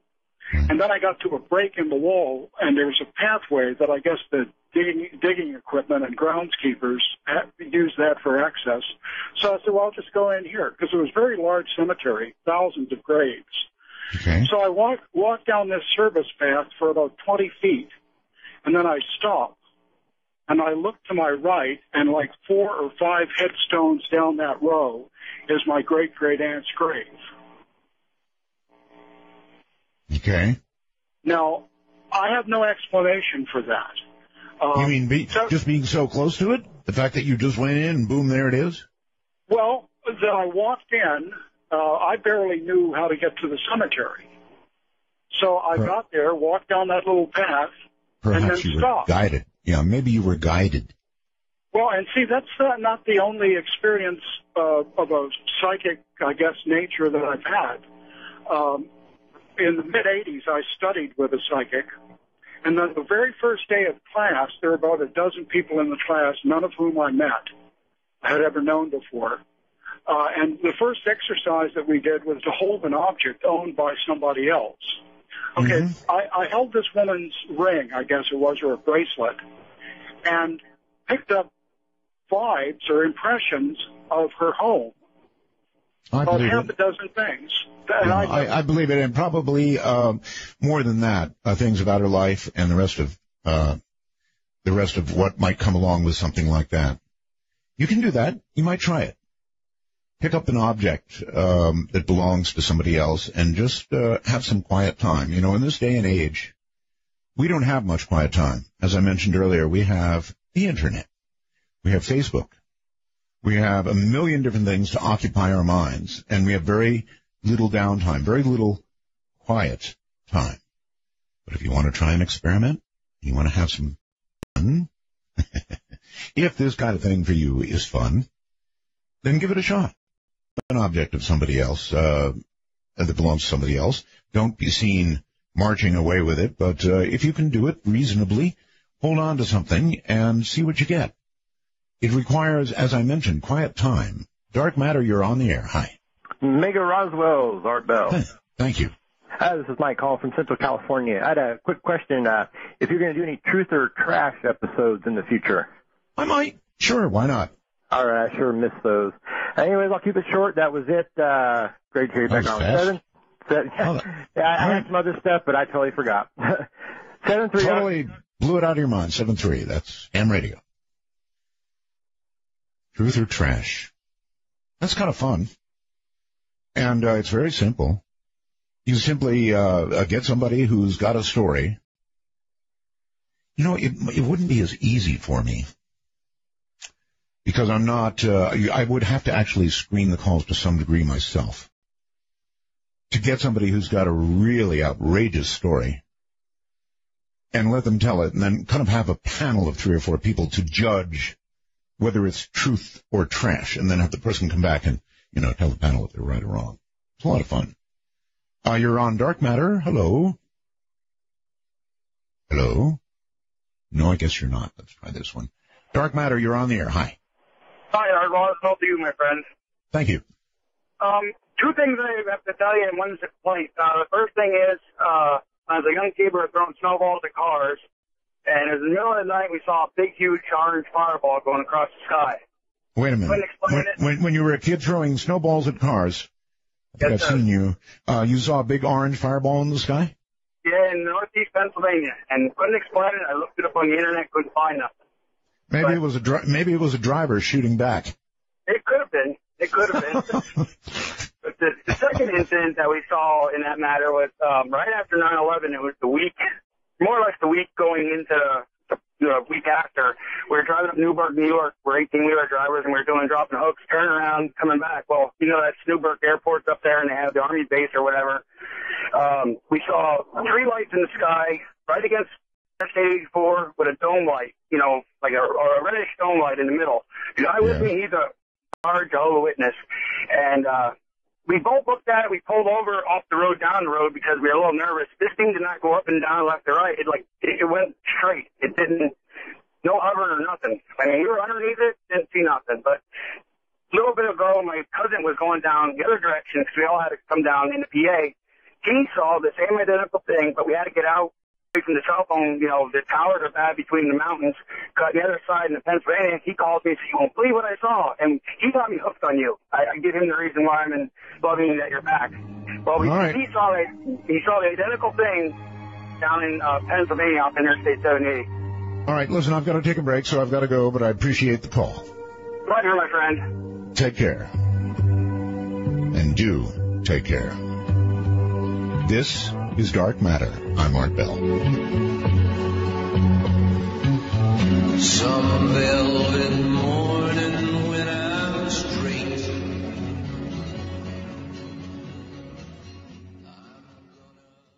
This is really cool. Somebody has wormholed me. That doesn't sound right, does it? Somebody has sent me a message through the wormhole which says, is it because of the entanglement theory that holding objects can tell you things? What a really cool thought.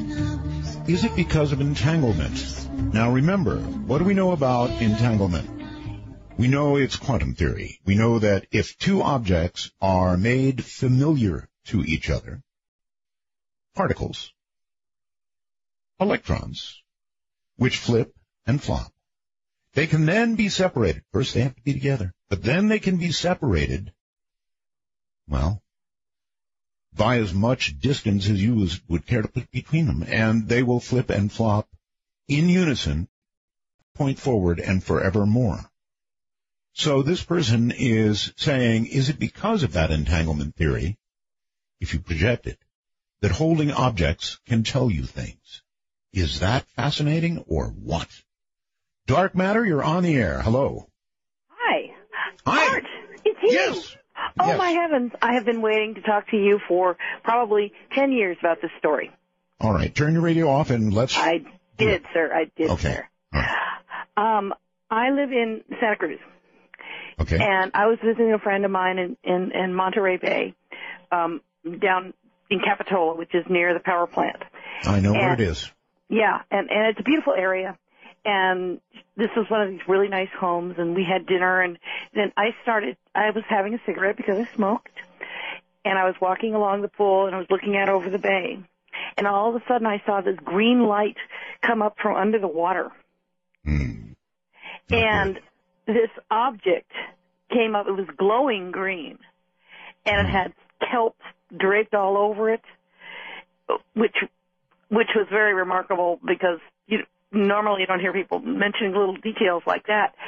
And it No, I'd be so gone. I, I would be panicked and my, my heart would probably jump out of my chest. I mean, a glowing green object with kelp on it surfaces. What was it? I don't know. It it kept surfacing, and then it kept going up into the air, and then it Hmm. started to move towards the Moss Landing plant. And at that point, I the two other people I was having dinner with, we they happened to have one of those telescopes, those little spy glasses. I used to live, by the way, in Moss Landing, so you know. Oh, oh, cool. I used to I used to eat, eat strawberries in the strawberry field under the high tension lines coming up out, out of the plant. Oh, Half million amazing. volt. fantastic strawberries there. But we had a spyglass, and so we started looking at it through the spyglass. Yes. It raised up. It it went across the bay over to Moss Landing because we're in Capitola at that point. So you know Right. there's a few miles between those, and it hovered in front of the Moss Landing plant for about 30 minutes, and we were looking at it through the spyglass, all three of us. Uh-huh. I called the cops. They said, "You're seeing a fishing boat." I'm like fishing boats don't float in the air, and they're not green. Covered. No, they're not. And when we looked at it through the spyglass, we actually saw that the green light was actually a combination of elliptoid lights that were green, amber, and green. Mm-hmm. And then the weirdest thing that two of us saw, my husband didn't see it, but, but the other person we were with saw it, was it looked like there was some kind of a mechanical arm that came across that was going out of the, of whatever it was, a craft I'm assuming, and taking something from the power plant. Then for 30 minutes, it sat there doing this, and we finally had to leave because we had to get home because we live in Santa Cruz. And I kept watching it out the back seat of the car or out the back window, and it winked out and disappeared. Ah, that's what I would have done. I, I'd have winked out. I'm sorry. We're so, so out of time. It has been a pleasure. Very interesting Jeremy Meador story early on. Uh, make of that what you will, and fascinating open lines. It's been my pleasure, and we'll see you tomorrow night. Have a great night, everybody. From the high desert, the great American Southwest, Dark Matter says good night.